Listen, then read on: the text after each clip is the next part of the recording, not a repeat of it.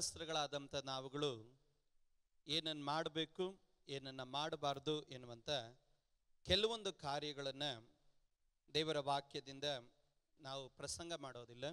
ನೆನಪಿಸಿ ನಾನು ನಿಲ್ಲಿಸ್ಬಿಡ್ತೀನಿ. ಸಂತೋಷ ಇದೆಯಾ?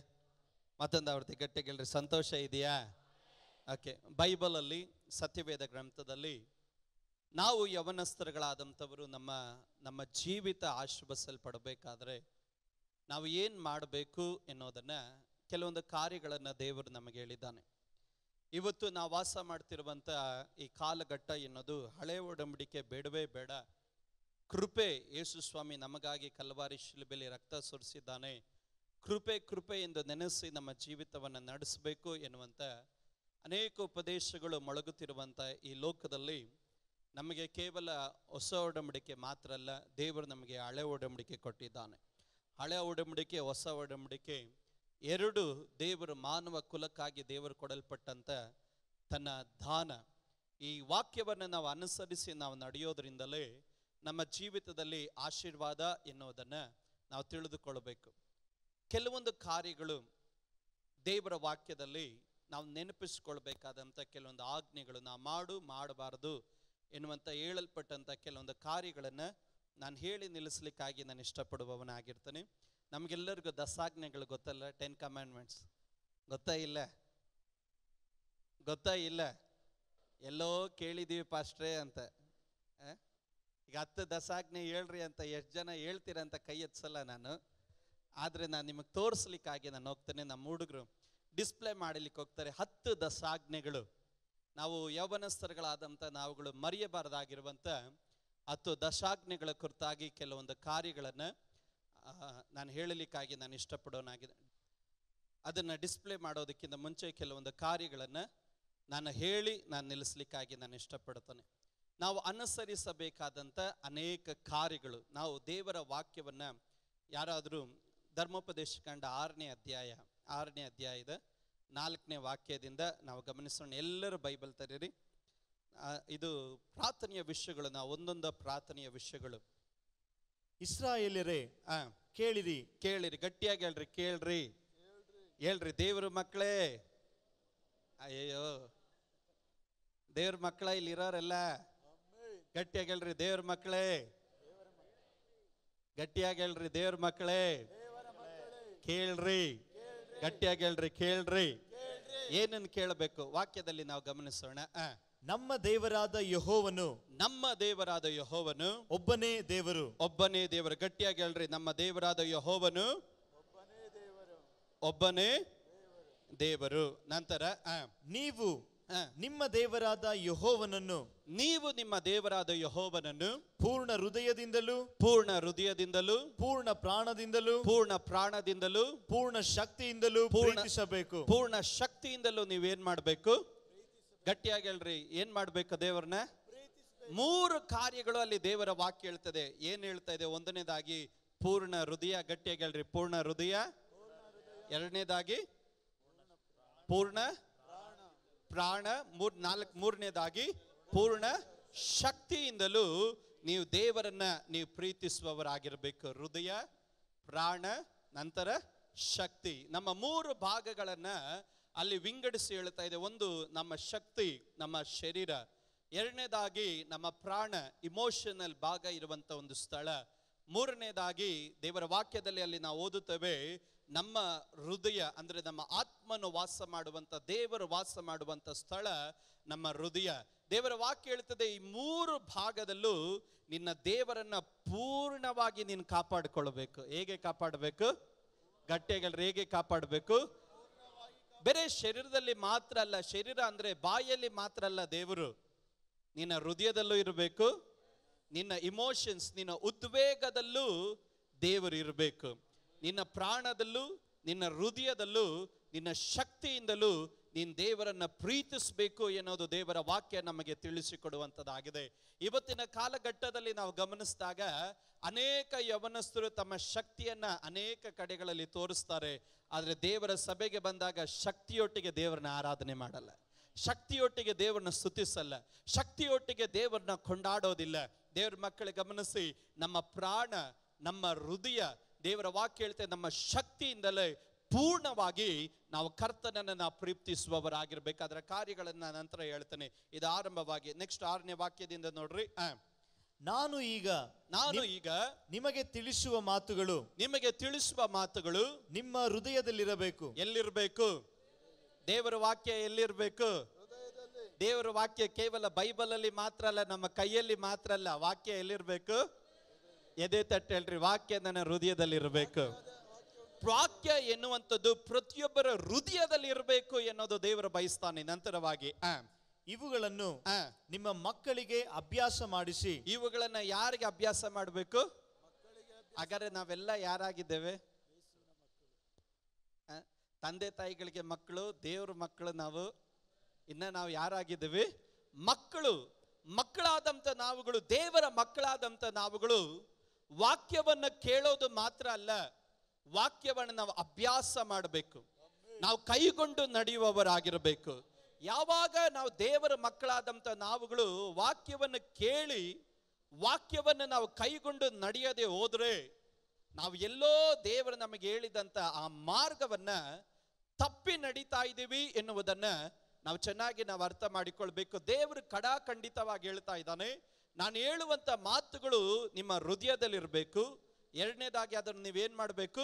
ಅಭ್ಯಾಸ ಮಾಡಬೇಕು. ಬಾಯಿ ತೆರೆದು ಹೇಳ್ರಿ ಏನ್ ಮಾಡಬೇಕು? ಅಭ್ಯಾಸ ಮಾಡಬೇಕು. ನೆಕ್ಸ್ಟ್ ಆ ಪದಗಳನ್ನು ನೋಡ್ರಿ. ಆ.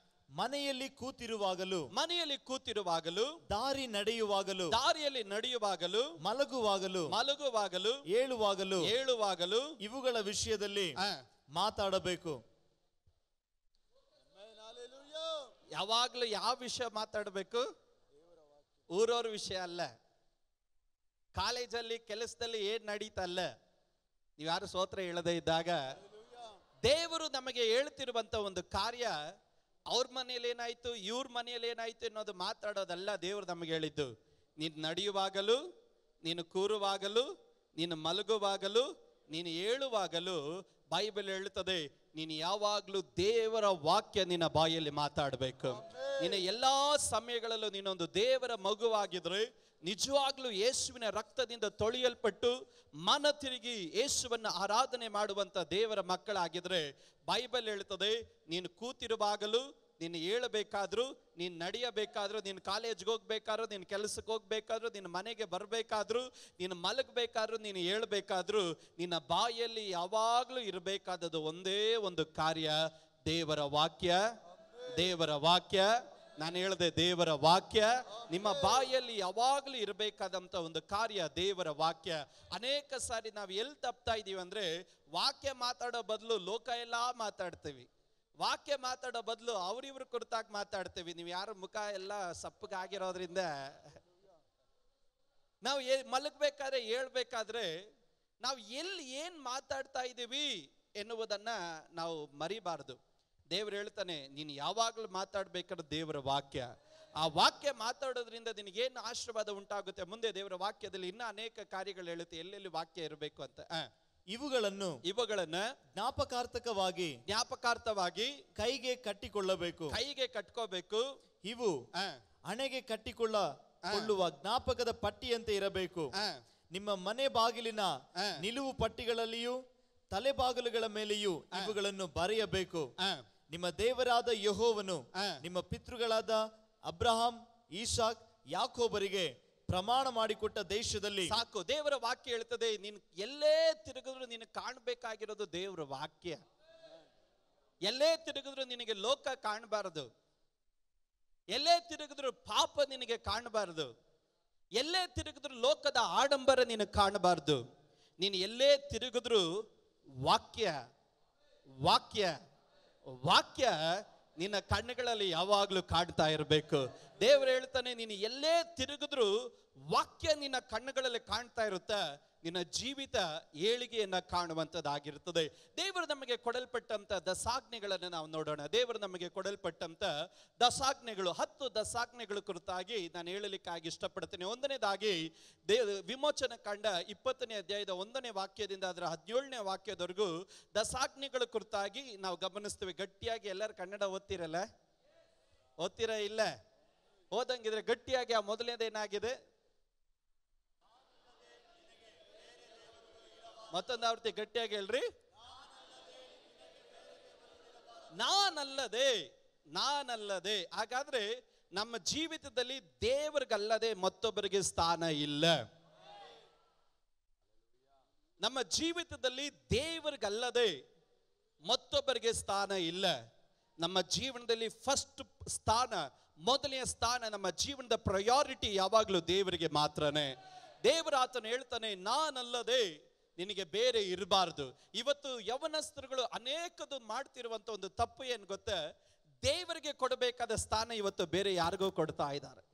ದೇವರಿಗೆ ಕೊಡಬೇಕಾದಂಥ ಪ್ರಾಮುಖ್ಯವಾದಂಥ ಸ್ಥಾನ, ಬೇರೆ ಯಾವುದೋ ಒಂದು ವಸ್ತುಗೋ, ಬೇರೆ ಯಾವುದೋ ಒಂದು ವ್ಯಕ್ತಿಗೋ, ಬೇರೆ ಯಾವುದೋ ಒಂದು ಕಾರ್ಯಕ್ಕೂ ನಾವು ಕೊಡ್ತಾ ಇರೋದ್ರಿಂದನೇ ದಸಾಜ್ಞೆಗಳ ಮೊದಲನೇ ಆಜ್ಞೆನೇ ನಾವು ತಪ್ತಾ ಇದ್ದೀವಿ. ದೇವ್ರು ಹೇಳ್ತಾನೆ, ನಾನೇ ನಿಮ್ಮ ಜೀವನದಲ್ಲಿ ಪ್ರಧಾನವಾದ ಸ್ಥಾನ. ನಾನಲ್ಲದೆ ಬೇರೊಂದು ನಿನಗಿರಬಾರದು. ಮೊದಲನೇದಾಗಿ ದೇವರು ಹೇಳ್ತಾರೆ, ನಾನಲ್ಲದೆ ಎರಡನೇದಾಗಿ ದೇವರ ವಾಕ್ಯದಲ್ಲಿ ನಾವು ಗಮನಿಸಿ, ಎರಡನೇದಾಗಿ ದೇವರ ಆತನು ಹೇಳ್ತಿರುವಂತ ಕಾರ್ಯ ಎರಡನೇದಾಗಿ ನಿನ್ನ ಕೈಗಳಿಂದ ನ ಹಲಲಿಯ ನೀನು ಯಾವುದನ್ನ ನೀನು ಮಾಡ್ಕೊಳ್ಬಾರ್ದು. ನಮ್ಮ ಕೈಗಳಿಂದಲೇ ನಾವು ದೇವರಿಗಿಂತ ದೊಡ್ಡದೇನ ಮಾಡ್ಕೊಳ್ತೀವಿ. ನಮ್ಮ ಕೈಗಳಿಂದಲೇ ನಾವು ಅನೇಕ ಕಾರ್ಯಗಳು ನನಗೂ ದೇವರಿಗೆ ಅಡ್ಡ ಬರತಕ್ಕಂಥ ಕಾರ್ಯಗಳನ್ನ ಮಾಡ್ತೇವೆ. ನಮ್ಮ ಜೀವಿತದಲ್ಲಿ ನಮ್ಮ ಕೈಗಳಿಂದಲೇ ದೇವರು ನಮ್ಮ ವಿಷಯದಲ್ಲಿ ನೋವು ಪಡತಕ್ಕಂತೆ, ದೇವರು ನಮ್ಮ ವಿಷಯಗಳಲ್ಲಿ ನೊಂದುಕೊಳ್ಳತಕ್ಕಂಥ ಅನೇಕ ಅಟ್ಟಿಗಳನ್ನ ನಮ್ಮ ಜೀವಿತದಲ್ಲಿ, ನಮ್ಮ ಕೈಗಳಿಂದಲೇ ನಾವು ಮಾಡಿಕೊಳ್ತೇವೆ. ಇವತ್ತು ದೇವರ ಮಕ್ಕಳನ್ನ ಒಂದು ಕಾರ್ಯ ಅರ್ಥ ಮಾಡಿಕೊಳ್ಬೇಕು. ನಮ್ಮ ಕೈಗಳಿಂದಲೇ ನನಗೂ ದೇವರಿಗೂ ಅಡ್ಡ ಬರುವಂತ ಯಾವ ಕಾರ್ಯ ನಾ ಮಾಡ್ಕೊಳ್ಬಾರ್ದು. ಹಲಲೋಯ ಗಟ್ಟಿಯಾಗಿ ಹೋದ್ರಿ ಅದನ್ನ.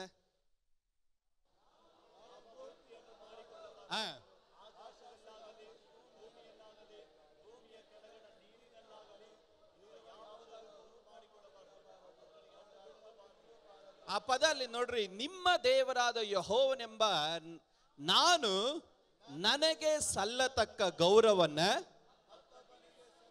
ಮತ್ತೊಬ್ಬನಿಗೆ ನಾನು ಏನ್ ಮಾಡೋದಿಲ್ಲ? ಮತ್ತೊಬ್ಬನಿಗೆ ಅಂದ್ರೆ ವ್ಯಕ್ತಿ ಅದು. ಅಲ್ಲಿ ಮೇಲೆ ಒಂದು ಪದ ಇದೆ ನೋಡ್ರಿ, ಅಲ್ಲಿ ದೇವರ ವಾಕ್ಯದಲ್ಲಿ ಗಮನಿಸ್ತೇವೆ, ಯಾವುದರ ಅಂತ? ಅಲ್ಲಿ ಕೆಳಗಡೆ ಬಂದಾಗ ಮತ್ತೊಬ್ಬನಿಗೆ ಅಂತ ಇದೆ. ಡಿಫ್ರೆನ್ಸ್ ಜೀವ ಇರೋದಕ್ಕೂ ಜೀವ ಇಲ್ಲದಿರೋದಕ್ಕೂ ವ್ಯತ್ಯಾಸದ ಪದ. ಅಲ್ಲಿ ಯಾವುದರ ಜೀವ ಇಲ್ಲ. ಜೀವ ಉಳ್ಳದು ಮತ್ತೊಬ್ಬನಿಗೆ ದೇವರಿಗೆ ಕೊಡಬೇಕಾದಂತ ಗೌರವ ಮನುಷ್ಯನಿಗೆ ಹೋಗಬಾರ್ದು. ನಾನು ಹೇಳ್ತಾ ಇರೋದು ಅರ್ಥ ಆಗ್ತಾ ಇದೆಯಾ?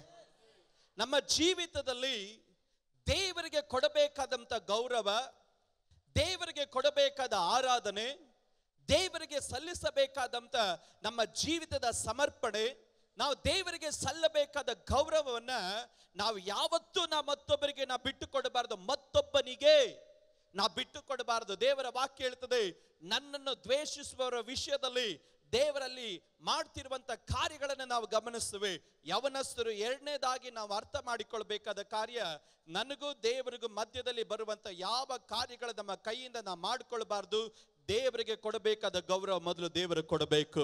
ದೇವರ ಸಾನ್ನಿಧ್ಯಾನಕ್ಕೆ ಬರುವಂತ ವಿಷಯದಲ್ಲಿ ದೇವರ ಸಾನ್ನಿಧ್ಯಾನಕ್ಕೆ ಗೌರವ ಕೊಡಬೇಕು.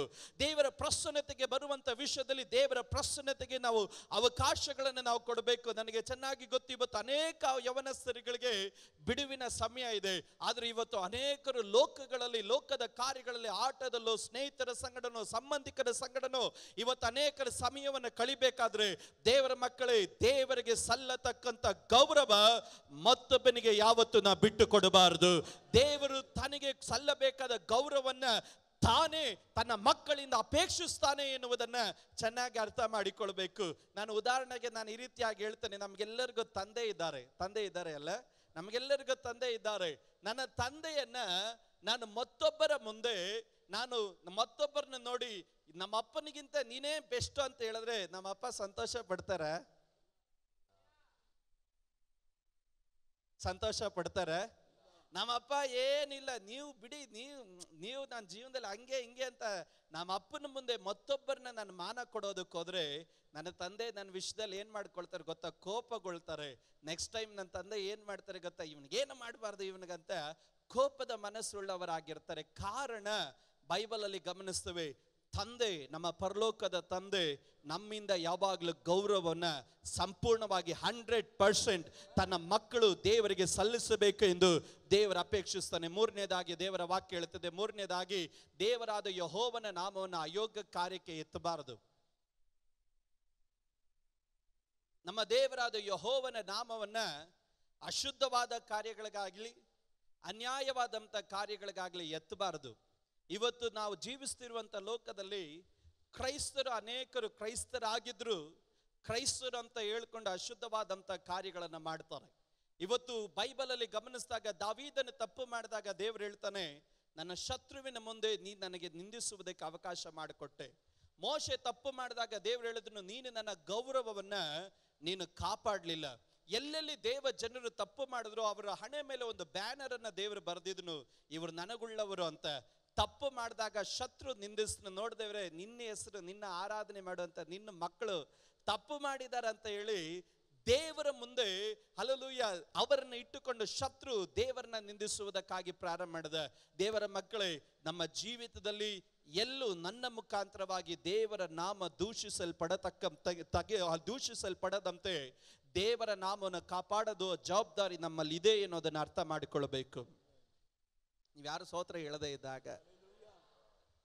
ದೇವರ, ನಾಮ ನಮ್ಮ ಜೀವಿತದಿಂದ ಎಲ್ಲೂ ದೂಷಿಸಲ್ಪಡೋದಿಕ್ಕೆ ಅವಕಾಶ ಮಾಡಿಕೊಡಬಾರ್ದು. ಅದು ನಮ್ಮ ವಿದ್ಯಾಭ್ಯಾಸದಲ್ಲಾಗ್ಲಿ, ನಮ್ಮ ಕಾಲೇಜುಗಳಲ್ಲಾಗ್ಲಿ, ನನ್ನ ಮುಂದಿನ ಕಾರ್ಯಗಳನ್ನು ಹೇಳ್ತೇನೆ. ದೇವರ ನಾಮವನ್ನ ಯಾವತ್ತು ಅಯೋಗ್ಯ ಕಾರ್ಯಕ್ಕೆ ನಮ್ಮ ಬಾಯಿಯಿಂದ ನಾವು ಎತ್ತಲೇಬಾರ್ದು. ನಾವು ದೇವರ ವಿಷಯದಲ್ಲಿ ಎಚ್ಚರವಾಗಿರಬೇಕು. ಮೂರನೇ, ನಾಲ್ಕನೇದಾಗಿ ದೇವರ ವಾಕ್ಯದಲ್ಲಿ ನಾವು ಗಮನಿಸ ನಾಲ್ಕನೇದಾಗಿ, ಅಲ್ಲಿ ದೇವರು ತಾನು ಈ ರೀತಿ ಹೇಳ್ತಾನೆ, ಸಬ್ಬತ್ ದಿನವನ್ನ ಮಾನ್ಯವಾಗಿ ನೀವು ಎಣಿಸ್ಬೇಕು. ದೇವರ ದಿನವನ್ನ ಒಂದು ಕಾಲದಲ್ಲಿ ಅಯೋಗ್ಯವಾಗಿ ನೀವು ಎಣಿಸ್ಬಾರ್ದು. ದೇವರನ್ನ ಆರಾಧನೆ ಮಾಡೋಕೆ ಬರುವ ಸಮಯದಲ್ಲಿ ದೇವರನ್ನ ಆರಾಧನೆ ಮಾಡಲೇಬೇಕು. ನೀವು ಯಾರು ಗಟ್ಟಿಯಾಗಿ ಸೋತ್ರ ಹೇಳಲಿಲ್ಲ. ಇವತ್ತು ಅನೇಕ ಯವನಸ್ಥರುಗಳಿಗೆ ಸಭೆ ಎನ್ನೋದು ಏನಾಗೋಗಿದೆ ಗೊತ್ತೇ? ಕೆಲವರಿಗೆ ಚರ್ಚೆ ಎನ್ನುವಂಥದ್ದು ಪಿಕ್ನಿಕ್ ಸ್ಪಾಟ್ ಇದ್ದಂಗೆ ಆಗೋಗ್ಬಿಟ್ಟಿದೆ. ಕೆಲವರಿಗೆ ಸಭೆ ಎನ್ನುವಂಥದ್ದು ಅನೇಕರಿಗೆ ಬಂದು ಏನೋ ನಡೀತಾ ಇದೆ ಅಂತೆಲ್ಲ ನೋಡ್ಕೊಂಡು ಹೋಗೋಣ ಎನ್ನುವಂಥ ರೀತಿಯಲ್ಲಿ ಆಗೋಗ್ಬಿಟ್ಟಿದೆ. ದೇವರ ಸಭೆಗೆ ಬಂದಾಗೆಲ್ಲ ದೇವರ ಸಬ್ಬತ್ತನ್ನ ಅಥವಾ ಆ ದೇವರ ಆರಾಧನೆ ಮಾಡುವಂಥ ದಿವಸವನ್ನ ಯಾವತ್ತೂ ನಾವು ಅಲಕ್ಷ್ಯ ಮಾಡಬಾರ್ದು. ದೇವರು ನಿನಗೆ ಅವಕ್ಕೆ ಆರಾಧನೆ ಮಾಡುವುದಕ್ಕೆ, ಸಭೆಯಲ್ಲಿ ಕೂಡಿ ಬರೋದಕ್ಕೆ, ಕೂಟಗಳಲ್ಲಿ ಕೂಡಿ ಬರೋದಕ್ಕೆ ದೇವರು ನಿನಗೆ ಅವಕಾಶ ಕೊಡ್ತಾನ. ಮನೆಯಲ್ಲಿ ಸುಮ್ಮನೆ ಸಮಯವನ್ನು ಕಳಿಬೇಡ. ಸ್ನೇಹಿತರ ಸಂಗಡ ಸುಮ್ಮನೆ ಸಮಯವನ್ನು ಕಳಿಬೇಡ. ಎಲ್ಲಿ ದೇವರು ನಿನಗೆ ಆರಾಧನೆ ಮಾಡೋದಕ್ಕೆ ದೇವರ ಅವಕಾಶ ಕೊಡ್ತಾನೋ, ಓಡಿ ಬಂದು ದೇವರನ್ನ ಆರಾಧನೆ ಮಾಡಬೇಕು. ಓಡಿ ಬಂದು ದೇವರನ್ನ ಸುತ್ತಿಸಬೇಕು. ದೇವರನ್ನ ಆರಾಧನೆ ಮಾಡುವಂತ ದಿನವನ್ನ ಒಂದು ಕಾಲದಲ್ಲಿ ಅಲಕ್ಷ್ಯವಾಗಿ ನೀವು ಎಣಿಸುವವರಾಗಿರಬಾರದು. ಐದನೇದಾಗಿ ನಾವು ಗಮನಿಸ್ತೇವೆ, ನಿನ್ನ ತಂದೆ ತಾಯಿಗಳನ್ನ ಸನ್ಮಾನಿಸಬೇಕು. ಹಾಲಲೋಯ. ನಿನ್ನ ತಂದೆ ತಾಯಿಗಳನ್ನ ಗಟ್ಟಿಯಾಗಿ ಓದ್ರಿ, ಅದನ್ನ ಐದನೇ ವಾಕ್ಯ ಓದ್ರಿ. ನಿನ್ನ ಅನ್ನೋದಕ್ಕಿಂತ ಮುಂಚೆ ನನಗೆ ಹೇಳ್ಬಿಡ್ರಿ, ನನ್ನ ಅಂತ ಹೋದ್ರಿ. ಗಟ್ಟಿಯಾಗಿ ಹೋದ್ರಿ. ಸನ್ಮಾನಿಸಿದರೆ ನಾನು ಅಂತ ಹೋದ್ರಿ, ನಾನು ದೇವರು ಹೇಳ್ತಾನೆ, ನಿನ್ನ ದೇವರಾದ ಯಹೋವನು ನನಗೆ, ನನ್ನ ದೇವರಾದ ಯಹೋವನು ನನಗೆ ಅನುಗ್ರಹಿಸುವ ದೇಶದಲ್ಲಿ ನಾನು ಬಹುಕಾಲ ಇರುವೆನು. ಮತ್ತೊಂದು ಆವೃತ್ತಿ ಹೇಳ್ರಿ, ನನ್ನ ತಂದೆ ತಾಯಿಗಳನ್ನ ಸನ್ಮಾನಿಸಬೇಕು. ಸನ್ಮಾನಿಸಿದರೆ ನನ್ನ ದೇವರಾದ ಯಹೋವನು ನನಗೆ ಅನುಗ್ರಹಿಸುವ ದೇಶದಲ್ಲಿ ನಾನು ಬಹುಕಾಲ ಬದುಕುವೆನು. ಇವತ್ತು ನಾನು ಅದರ ಅದರ ತಂದೆ ತಾಯಿಗಳ ಕುರಿತಾಗಿ, ಅನಂತರ ನಾನು ಹೇಳ್ತೀನಿ, ತಂದೆ ತಾಯಿಗಳ ಕುರಿತಾಗಿ ಅನೇಕ ಕಾರ್ಯಗಳನ್ನು ದೇವರ ವಾಕ್ಯದಲ್ಲಿ ಹೇಳಲ್ಪಟ್ಟಿದೆ. ನಾನು ಅನಂತರ ಹೇಳ್ತೀನಿ, ಆರನೇದಾಗಿ, ಆ. ಆರನೇದಾಗಿ ನರಾತ್ಯ ಮಾಡಬಾರ್ದು, ಅಂದ್ರೆ ಕೊಲೆ ಮಾಡಬಾರ್ದು. ಏಳನೇದಾಗಿ ವ್ಯಭಿಚಾರ ಮಾಡಬಾರ್ದು. ಎಂಟನೇದಾಗಿ ಕದಿಯಬಾರದು. ಒಂಬತ್ತನೇದಾಗಿ ಸುಳ್ಳು ಸಾಕ್ಷಿ ಹೇಳಬಾರದು. ಹತ್ತನೇದಾಗಿ ಮತ್ತೊಬ್ಬನ ಮನೆಯನ್ನ ಆಶಿಸಬಾರದು. ನಾನು ಇದನ್ನೆಲ್ಲ ಇದನ್ನ ಸುಲಭವಾಗಿ ನಾವು ಆರನೇ ವಾಕ್ಯ, ಆರನೇದಾಗಿ ನಾವು ಗಮನಿಸಲಿಕ್ಕೆ ಸಾಧ್ಯ ನರತ್ಯ ಮಾಡಬಾರ್ದು.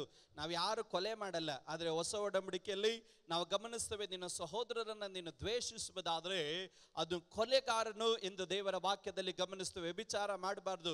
ಹೊಸ ಒಡಂಬಡಿಕೆ ಈ ರೀತಿ ಹೇಳುತ್ತೆ, ಹಳೆ ಒಡಂಬಡಿಕೆಯಲ್ಲಿ ವ್ಯಭಿಚಾರ ಮಾಡಿದ್ರೆ ವ್ಯಭಿಚಾರ, ಆದರೆ ಹೊಸ ಒಡಂಬಡಿಕೆಯಲ್ಲಿ ಬಂದಾಗ ನಿನ್ನ ಕಣ್ಣಿಂದ ನೀನು ಮೋಹಿಸಿದರೆ ಮತ್ತೊಂದು ಪರ ಸ್ತ್ರೀಯನ್ನ ನಿನ್ನ ಕಣ್ಣಿಂದ ನೀನು ಮೋಹಿಸಿದರೆ ಆಗ್ಲೇ ನಿನ್ನ ಹೃದಯದಲ್ಲಿ ವ್ಯಭಿಚಾರ ಮಾಡಿದ್ದಿ ಎಂದು ದೇವರ ವಾಕ್ಯದಲ್ಲಿ ನಾವು ಗಮನಿಸುವವರಾಗಿದ್ದೇವೆ. ಆದ್ರಿಂದ ಸಹೋದರ ಸಹೋದರಿಯರೇ, ಎಚ್ಚರವಾಗಿರ್ರಿ. ನೀ ಮತ್ತೊಬ್ಬ ಸಹೋದರಿಯನ್ನಾಗ್ಲಿ ಸಹೋದರನಾಗ್ಲಿ ಬೇಡದಿರುವಂತ ದೃಷ್ಟಿಯಲ್ಲಿ ನೀವು ನೋಡುವವರಾಗಿದ್ರೆ ನೀವು ದೇವರ ಸಮ್ಮುಖದಲ್ಲಿ ಪಾಪಿಗಳು ಎಂಬುದನ್ನ ನೀವು ಚೆನ್ನಾಗಿ ನೀವು ಅರ್ಥ ಮಾಡಿಕೊಳ್ಳುವವರಾಗಿರಬೇಕು. ಎಂಟನೇದಾಗಿ, ಕದಿಯಬಾರದು, ಕಳ್ಳರಾಗಬಾರ್ದು. ಕದಿಯಬಾರದು ಅಂತ ಹೇಳಿದಾಗ ಪರರ ವಸ್ತುಗಳನ್ನು ಮಾತ್ರ ಅಲ್ಲ ದೇವರಿಗೆ ಕೊಡುವಂತ ದಸಾಂಶವನ್ನು ನಾವು ಕದಿಯಬಾರದು. ನಾವು ದೇವರ ವಿಷಯದಲ್ಲೂ ನಾವು ಎಚ್ಚರಿಕೆ ಆಗಿರ್ಬೇಕು ಅನ್ನೋದನ್ನು ಚೆನ್ನಾಗಿ ಅರ್ಥ ಮಾಡಿಕೊಳ್ಬೇಕು. ಮತ್ತೊಬ್ಬನ ಮೇಲೆ ಸುಳ್ಳು ಸಾಕ್ಷಿಯನ್ನ ಹೇಳಬಾರದು. ಸುಳ್ಳು ಸಾಕ್ಷಿ ಅನ್ನೋದಾದ್ರೆ ನಿನಗೆ ಗೊತ್ತಿಲ್ಲದಿದ್ರು ಮತ್ತೊಬ್ಬನನ್ನು ಹೊಲಿಸ್ಕೊಳ್ಳೋದಕ್ಕೆ ಹಂಗೇನೆ ಅಂತ ಹೇಳಿ ಸುಮ್ಮನೆ ತಲೆ ಆಡ್ಸಕ್ ಹೋಗ್ಬಾರ್ದು. ಹುಷಾರು,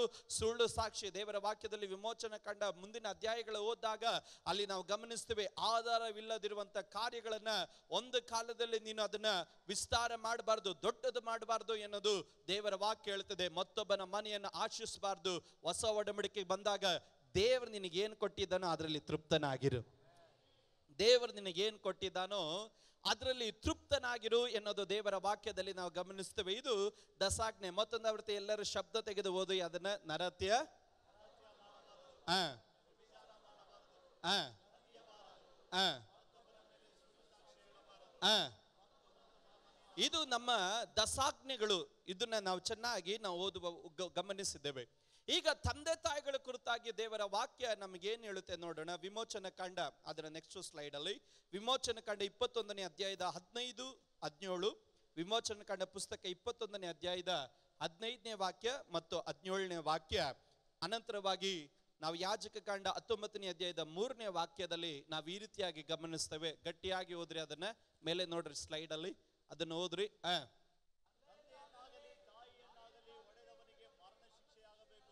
ಹದಿನೇಳನೇ ವಾಕ್ಯ ಹದಿನೇಳನೇ ವಾಕ್ಯ.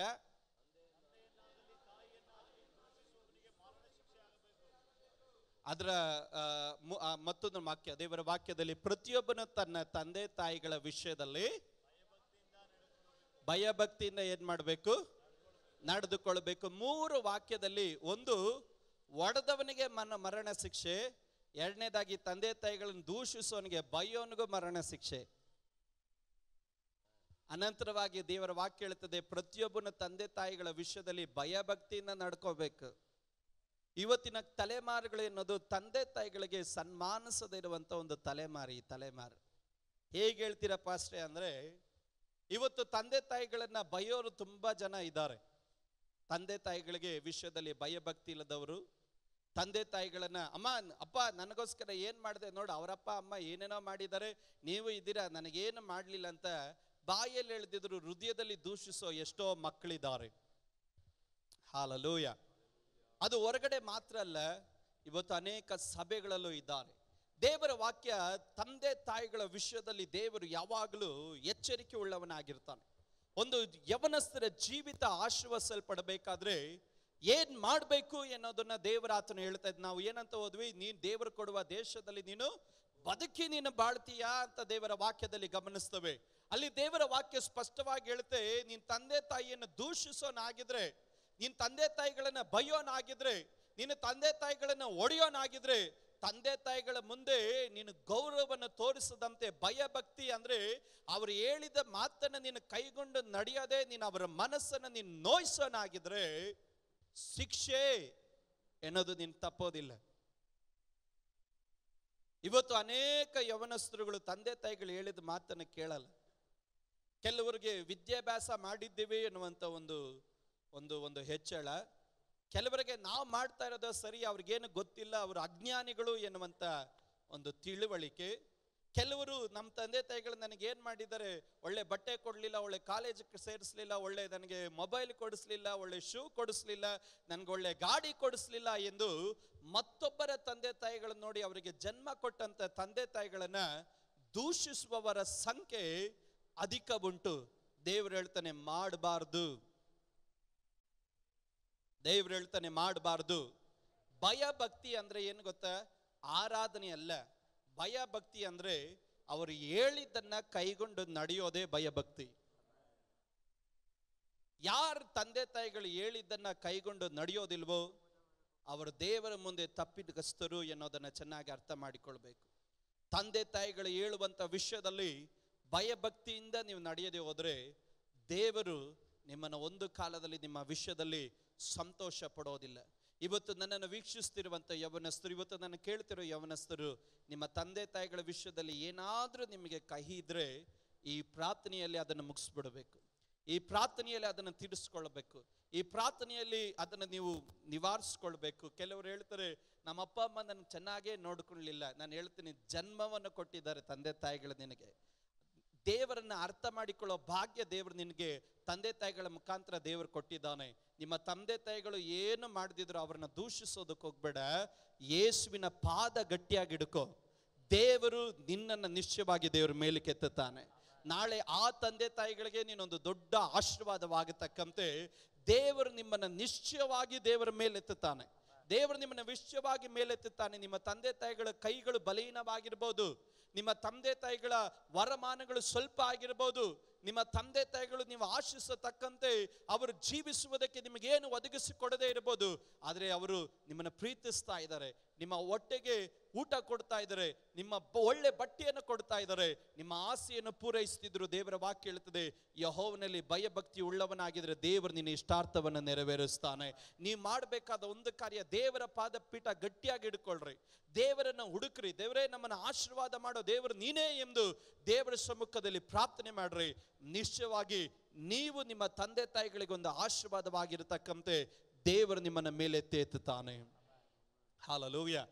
ನಾನು ಅದ್ರ ಕುರಿತಾಗಿ ಹೆಚ್ಚಾಗಿ ನಾನು ವಿವರಿಸೋದಿಲ್ಲ, ಅರ್ಥ ಆಗಿದೆ ಅನಿಸುತ್ತೆ. ನಂತರವಾಗಿ ದೇವರ ವಾಕ್ಯದಲ್ಲಿ ವಿಮೋಚನ ಕಂಡ ಪುಸ್ತಕ ಇಪ್ಪತ್ತೆರಡನೇ ಅಧ್ಯಾಯದ ಇಪ್ಪತ್ತೆಂಟನೇ ವಾಕ್ಯ ಓದಿದಾಗ, ವಿಮೋಚನ ಕಂಡ ಇಪ್ಪತ್ತೆರಡನೇ ಅಧ್ಯಾಯದ ಇಪ್ಪತ್ತೆಂಟನೇ ವಾಕ್ಯ, ಅಲ್ಲಿ ನಾವು ಈ ರೀತಿಯ ಗಮನಿಸ್ತೇವೆ, ನಿನ್ನ ದೇವರಾದ ಯಹೋವನನ್ನ ನೀನು ದೂಷಿಸಬಾರದು ಎಂದು ಅಲ್ಲಿ ದೇವರ ವಾಕ್ಯದಲ್ಲಿ ನಾವು ಗಮನಿಸುವವರಾಗಿದ್ದೇವೆ.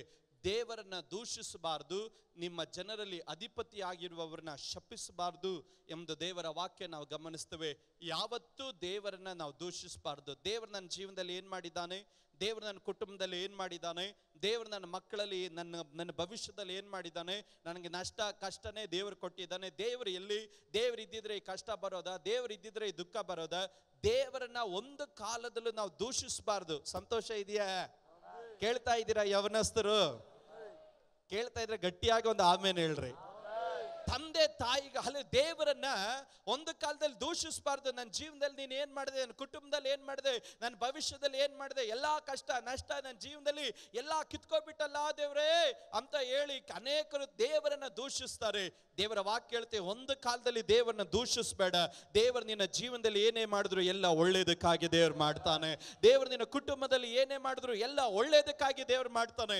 ದೇವರು ನಿನ್ನ ಮೇಲೆ ಒಂದು ಪ್ರಿನ್ಸಿಪಲ್ ನಿಮ್ಮ ಕ್ಲಾಸ್ ಟೀಚರ್ ನಿಮ್ಮ ಪಾಸ್ಟರ್ ಅಥವಾ ದೇವರು ನಿನ್ನ ಮೇಲೆ ಒಂದು ಅಧಿಪತಿಯನ್ನ ದೇವರು ಇಟ್ಟಿದ್ರೆ ಅವರನ್ನ ಒಂದು ಕಾಲದಲ್ಲಿ ದೂಷಿಸಬಾರ್ದು. ಹಾಲಲೋಯ.